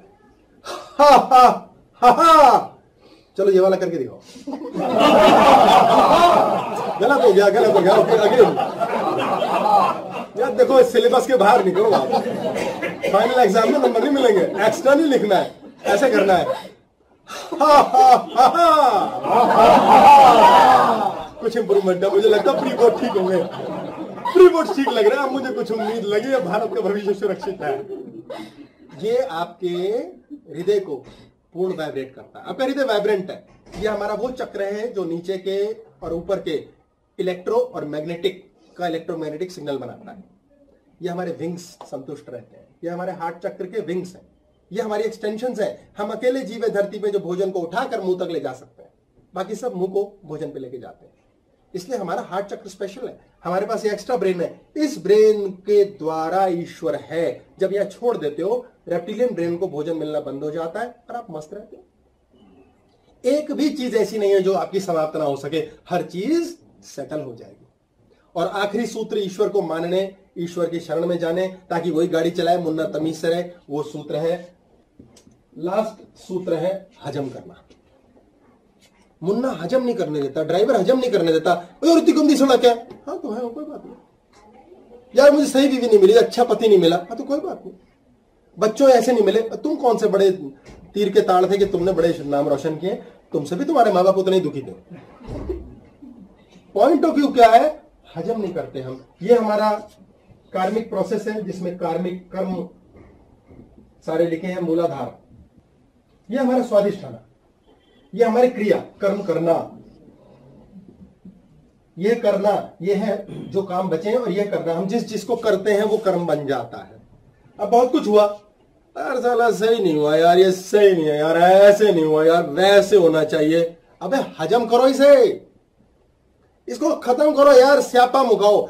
हजम, हर समय ये कॉन्शियसनेस में शब्द चलता है। भाई साहब, आपकी बात कुछ हजम नहीं हुई। बात क्या खाना है? बात भोजन ही है। लोग पेट में बातें रख लेते हैं ढेर सारी।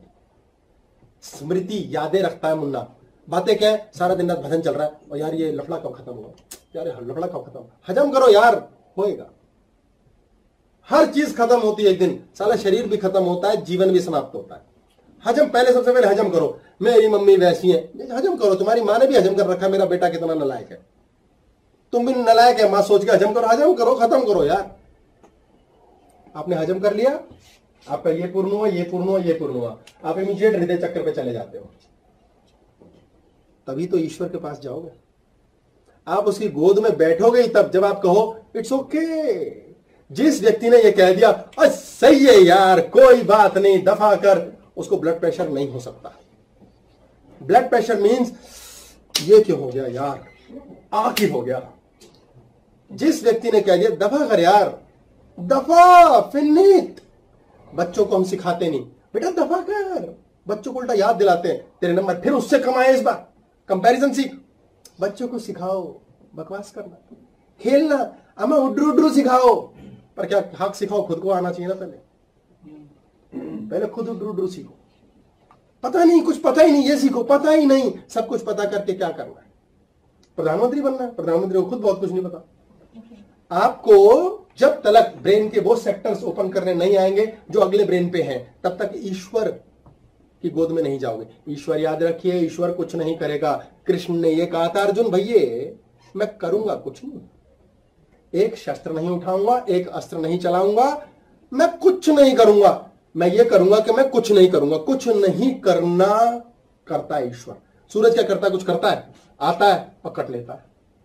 फिर आता है, फिर कट लेता है। वो कुछ नहीं करेगा, वो वैसे ही चलेगा।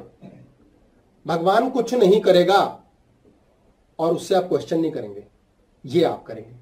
यानी ना करने को करना ये क्रिया जब आ जाएगी तो आप ईश्वर के साथ हो, उसके समक्ष बैठे हो, उसके गोद में बैठे हो। आपके रास्ते में निकालेगा। आपकी प्रॉब्लम डेडिकेट करेगा 101 परसेंट करेगा। उसका काम है, हमें पल्ले नहीं पड़ता, मूर्ख है। एक बार एक बहुत ही घना साधु था। घनघोर तपस्या में बैठा और दे मंत्र दे जाप दे पूजा दे अर्चना। ये जल चढ़ाया वो किया। दिन रात हठ योग तप योग भक्ति योग। बस ईश्वर प्राप्त कर लेना मुझे। लिबरेशन मोक्ष प्राप्त करना जीवन मृत्यु के कलह कचहरी से खत्म करना या समाप्त कर देना तो देवदूत गुजरते थे वहाँ से। आज देव, देवदूत स्पेशल है। एक के साथ एक फ्री तो वहाँ पर जी देवदूत को उसने पकड़ लिया। एक दिन बोला, भाई, ऐसा बहुत साल हो गए मुझे बड़ी बड़ी कठिन तपस्या की है मैंने। मुझे ईश्वर से पता तो कराओ यार, मेरी ये मुक्ति, ये मोक्ष कब होगा? कब लिबरेशन होगी? मैं इस जीवन चक्र से कब निकलूँगा? कब मुक्त होऊँगा? कहता हूँ, क्या? पूछ लेंगे वेरी सिंपल नो प्रॉब्लम तो आता देवदूत, चार दिन बाद वो पकड़ लेता उसे बोले, बताओ। कहता यार, जो सामने वृक्ष देख रहे हो, पेड़ देख रहे हो? बोले हाँ। बोले, उसमें जितने पत्ते हैं ना, उतने जन्म और है तुम्हारे। उसके बाद तुम मुक्त हो। उसने माला फेंकी, डोरा डंडा साइड किया, चार गालियाँ बकी बोले स्यापा, इतना जन्म खराब किया मैंने। साला मस्ती मारता। पता करता हूँ यार, यहाँ बियर का मिलेगी इस टाइम उसने टाइम वेस्ट किया, चल दिया। अब देवदूत ने कहा, भाई व्हाट कैन आई से आई एम द डाकिया कुछ दिनों आगे की जब ड्यूटी मिली तो एक दूसरी जगह गए, वहाँ पर भी एक तपस्वी बैठा हुआ था, वो भी तपस्या में लीन था। उसने भी देवदूत को पकड़ लिया, बोले, जी बताया कुछ मेरा कब मोक्ष, कब मुक्ति होगी? बोले, ला, एक और दारू के ठेके पे जाएगा। करता हूँ, भाई, पता करता हूँ, तेरा शायद कुछ और आंसर हो। वापिस आता है तो सेम आंसर कहता हूँ, सामने पेड़ देख रहे हो? बोले हाँ। बोले, उसमें जितने पत्ते हैं, बस उतने जन्म हो रहे हैं, उसके बाद मुक्त। वो नाचने लगता है। कहता, मज़ा आ गया यार, प्रसन्नता हो गई, खुशी के मारे मैं क्या ना करूँ, मैं दीवाना हो जाऊँगा। बोले, अबे, तुझे क्या हुआ? क्या दौरा पड़ा? बोले, दौरा? कितनी कृपा प्रभु की। बोले, यार, एक पेड़ बताया। साले दो भी बता सकते थे, तीन भी बता सकते थे। और ये पत्ते वाला कोई ऐसे पत्ते वाला बताते कि उसके पत्ते गिनना भारी। यार, सिर्फ़ इतना ही है। आई एम हैप्पी मज़ा आ गया यार, स्वाद आ गया जीवन का। आपने जीवन को मुन्ना से द्वारा देखना है या ईश्वर से द्वारा देखना है, ये आपके ऊपर है। आप किसकी गोद में बैठे हो? आपकी मम्मी गंदी। नो प्रॉब्लम सबकी होती है। जब मन की नहीं करती तो वो गंदी होती है। आपके पापा गंदे जब आपके मन के अनुसार आपको जायदाद नहीं देंगे तो गंदे है। पति गंदा पत्नी गंदी सभी गंदे ये मन मुन्ना मुन्ना की इच्छा के विरुद्ध जो दूसरे ने कर दिया, वो गंदा ही होता है। पर आप मुन्ना को देख ही क्यों रहे हो?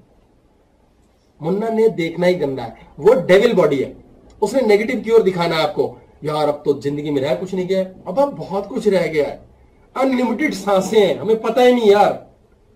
ईश्वर अंधकार में रखता है।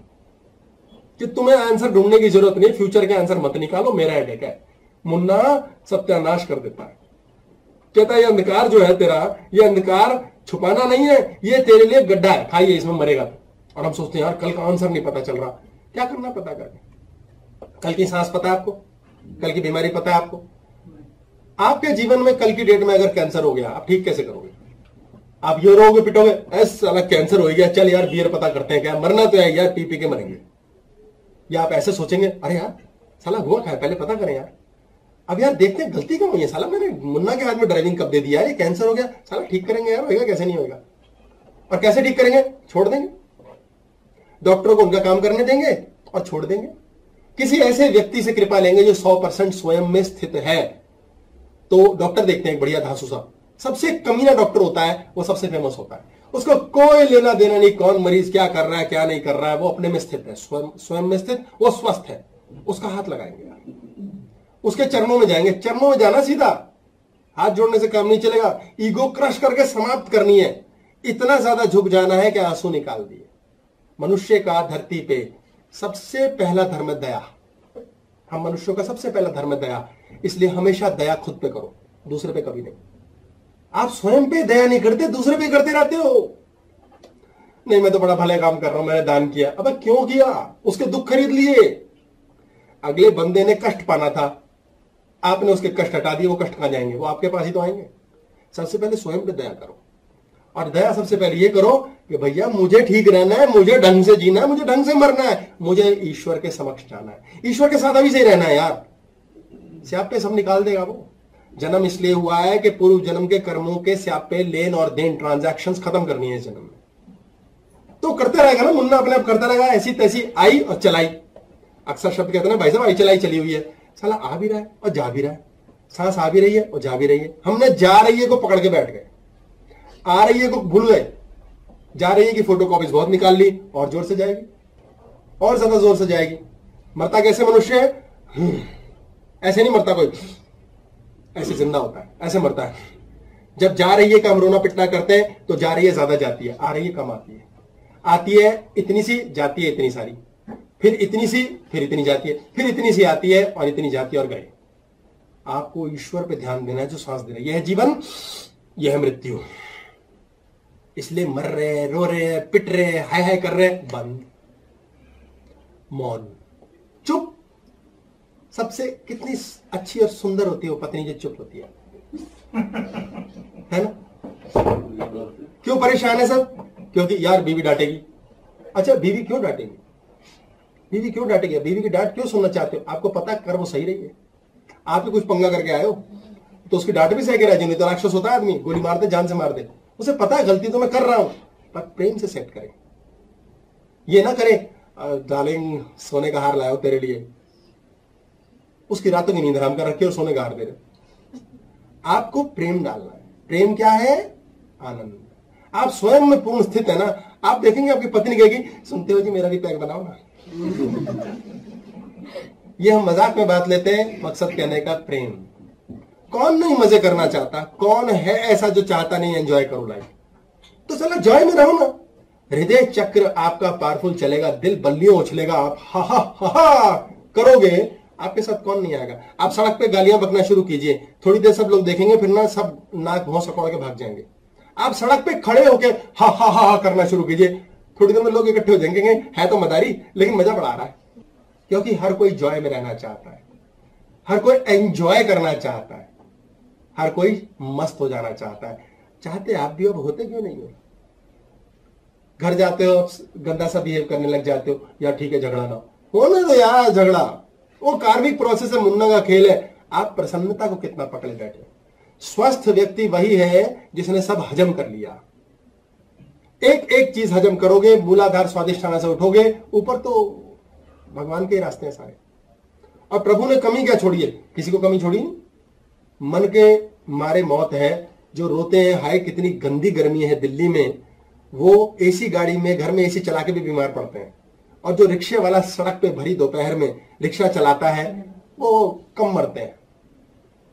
वो लवारिस की तरह मरते होंगे ही, लेकिन वो कम मरते हैं क्योंकि बॉडी वो भी ट्रेंड कर लेती है खुद को कि ऐसे भी जीना है।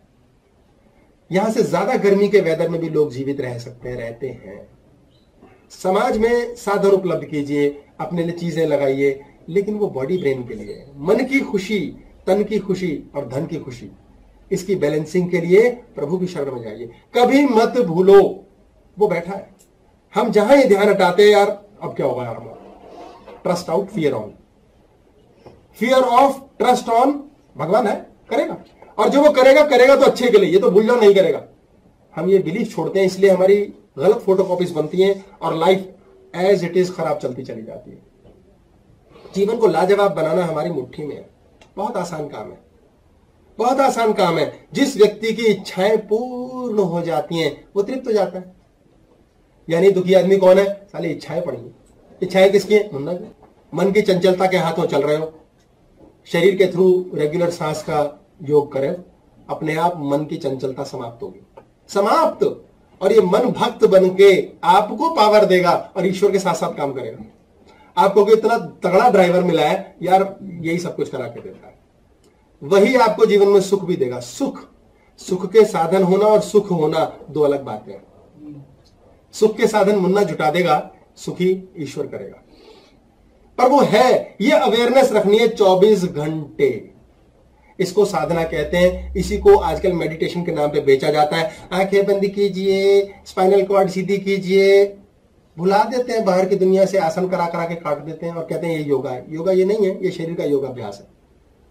बट एक्चुअली ऑटोमेटिकली जैसे ही बॉडी कटने लगती है बाहर की दुनिया से, हम अंदर जाना शुरू करते हैं, स्वास्थ्य आ जाता है। भाई योगा करने से भी ठीक होते ही हैं। चमत्कारिक रूप से होते हैं। कहाँ से होते हैं? तो जब आपका शरीर आप हीलिंग कर सकते हैं, पैसे की समस्या, काम की समस्या, झगड़े, लफड़े, बीमारी, कैसे ठीक नहीं कर सकते? आप करना चाहते नहीं। सब कुछ ठीक हो सकता है, इस विश्वास को ना टूटने दो।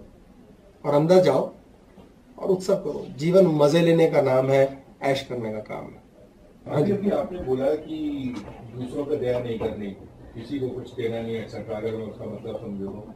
दूसरी तरफ़ ये भी कहते हैं कि भाई मंदिर में दान देते हैं तो उसका क्या हो रहा है? वो मंदिरों की ये एसेट्स बढ़ती चली जा रही है। तो आदमी को अगर चैरिटी करनी है, यहाँ भी ना करे मंदिर में भी ना दे, फिर कहाँ जाए आदमी या कुछ ना करे? भाई, कुछ ना करे तो बेस्ट होता है वैसे, पर मैं आपको फैक्ट बता दूँ, ये बड़ा मज़ेदार प्रश्न पूछा है इन्होंने। मान लेते हैं जो पहले स्टार्टिंग में मैंने कहानी बताई ड्राइवर गाड़ी चला रहा है। अब वो पंडित जी कहते हैं, बेटा, तुम्हें तो भगवान की कृपा से बच गए। अब बंदा अचानक ध्यान देता है हाँ मैंने डैशबोर्ड पे हनुमान जी रखे हुए थे और शीशे पे मेरे साईं बाबा लटके हुए थे और काला पर्दा लगा रखा था मैंने यार हाँ अपनी नंबर प्लेट पे और यार माता की चुन्नी भी तो थी पीछे। हाँ हाँ बच गया यार, भगवान है। ये मुन्ना का भगवान है। ये वो नकली भगवान है जो मुन्ना मंदिरों में बनवाता है, जो कहता है, ले, ये कर, पुण्य होएगा। पुण्य क्यों करना है आपने? पुण्य क्यों करना है? क्योंकि आप पाप करना चाहते हो। आपने बहुत सारे दिमाग में चीज़ें बना रखी है। भाई, ये गलतियाँ की हैं। थोड़ा पुण्य कर लूँ कैंसिल हो जाएगा। जैसे लोग कहते हैं ना, भाई, दारू पी रहा तो लिवर खराब होएगा तो मुर्गा नहीं खाना साथ में? पूरी वर्ल्ड में हम ही लोग हैं जो शराब के साथ कुछ खाते हैं। और फिर मोटे हो जाते हैं, उल्टा और बीमार पड़ते हैं, कम जीते हैं, बाहर कोई नहीं खाता।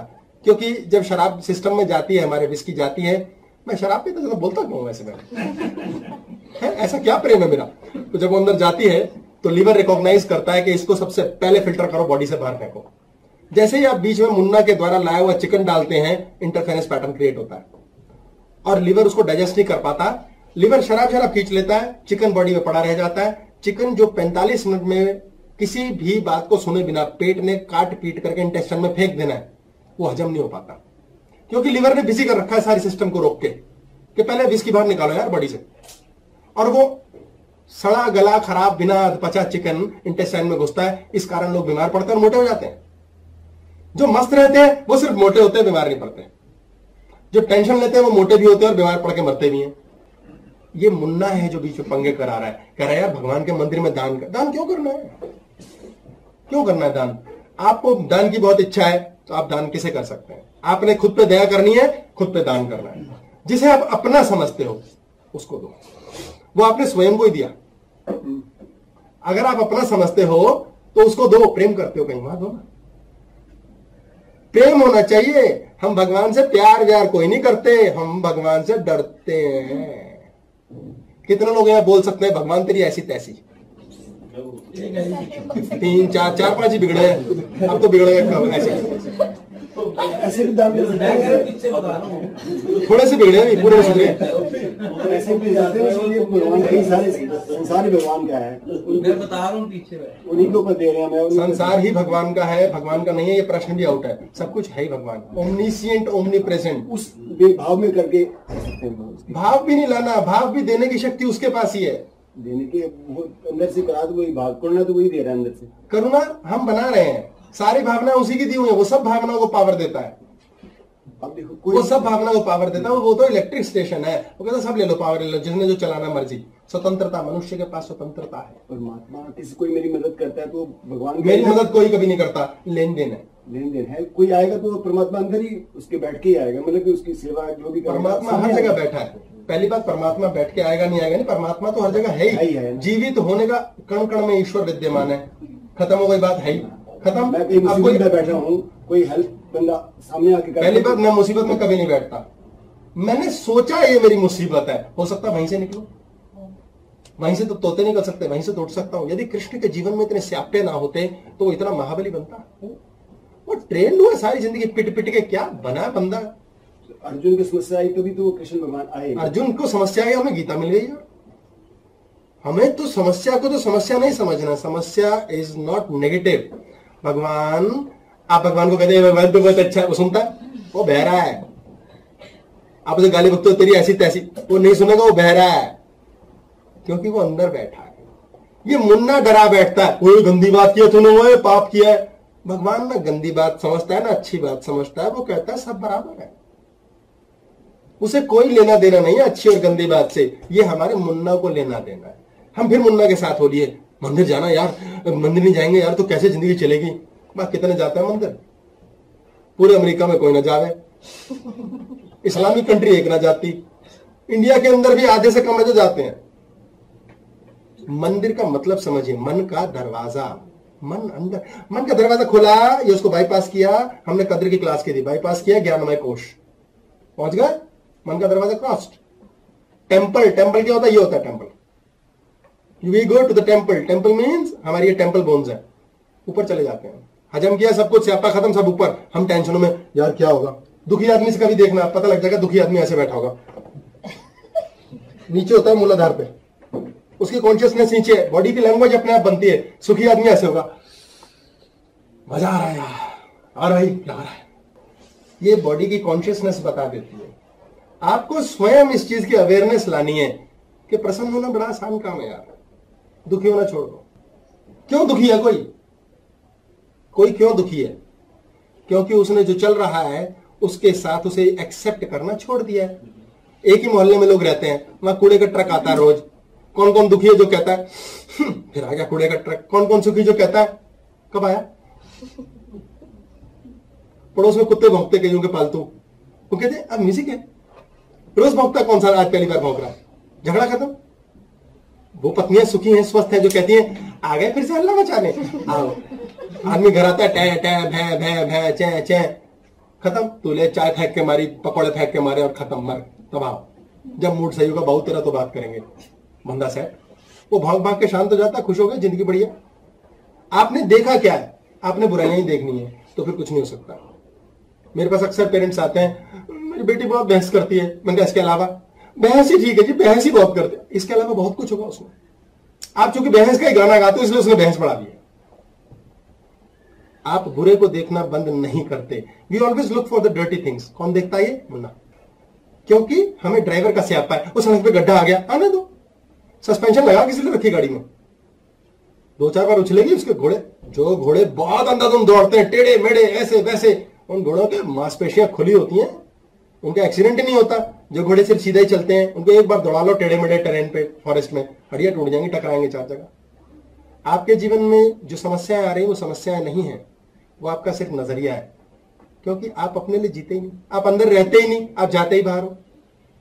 अंदर रहो, अंदर। अपने अंदर रहो। स्वयं में स्थित रहो, स्वयं में स्थापित रहो, स्वस्थ रहोगे। दान किसी को करना है तो क्यों करना? पार्टी करो यार। एंजॉय करो। एंजॉय करना आता है। नहीं भाई साहब को बुला देते हो आपने कुछ करना हमें बुला लेना देखो लोग खूब लोग लालच से भरे बहुत लोग हैं खुद दान लेने को राज़ी है। मुझे लगता है कि आपको देने की काफ़ी इच्छा है।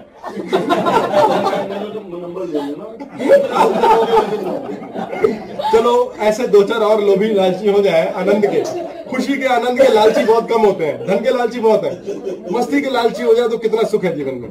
ये सुख ढूंढो। पार्टी करो। हस्बैंड अगर घूमता फिरता, मस्ती मारता नहीं तो बाथरूम में जाओ, गाने लगाओ, नाचो। ऑप्शन भी नहीं है कोई और। वहाँ ऑप्शन भी नहीं है।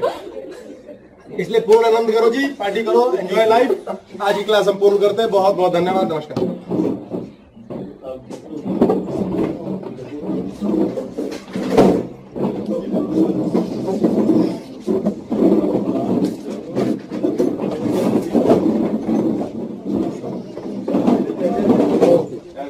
ऐसे ओके जी डॉक्टर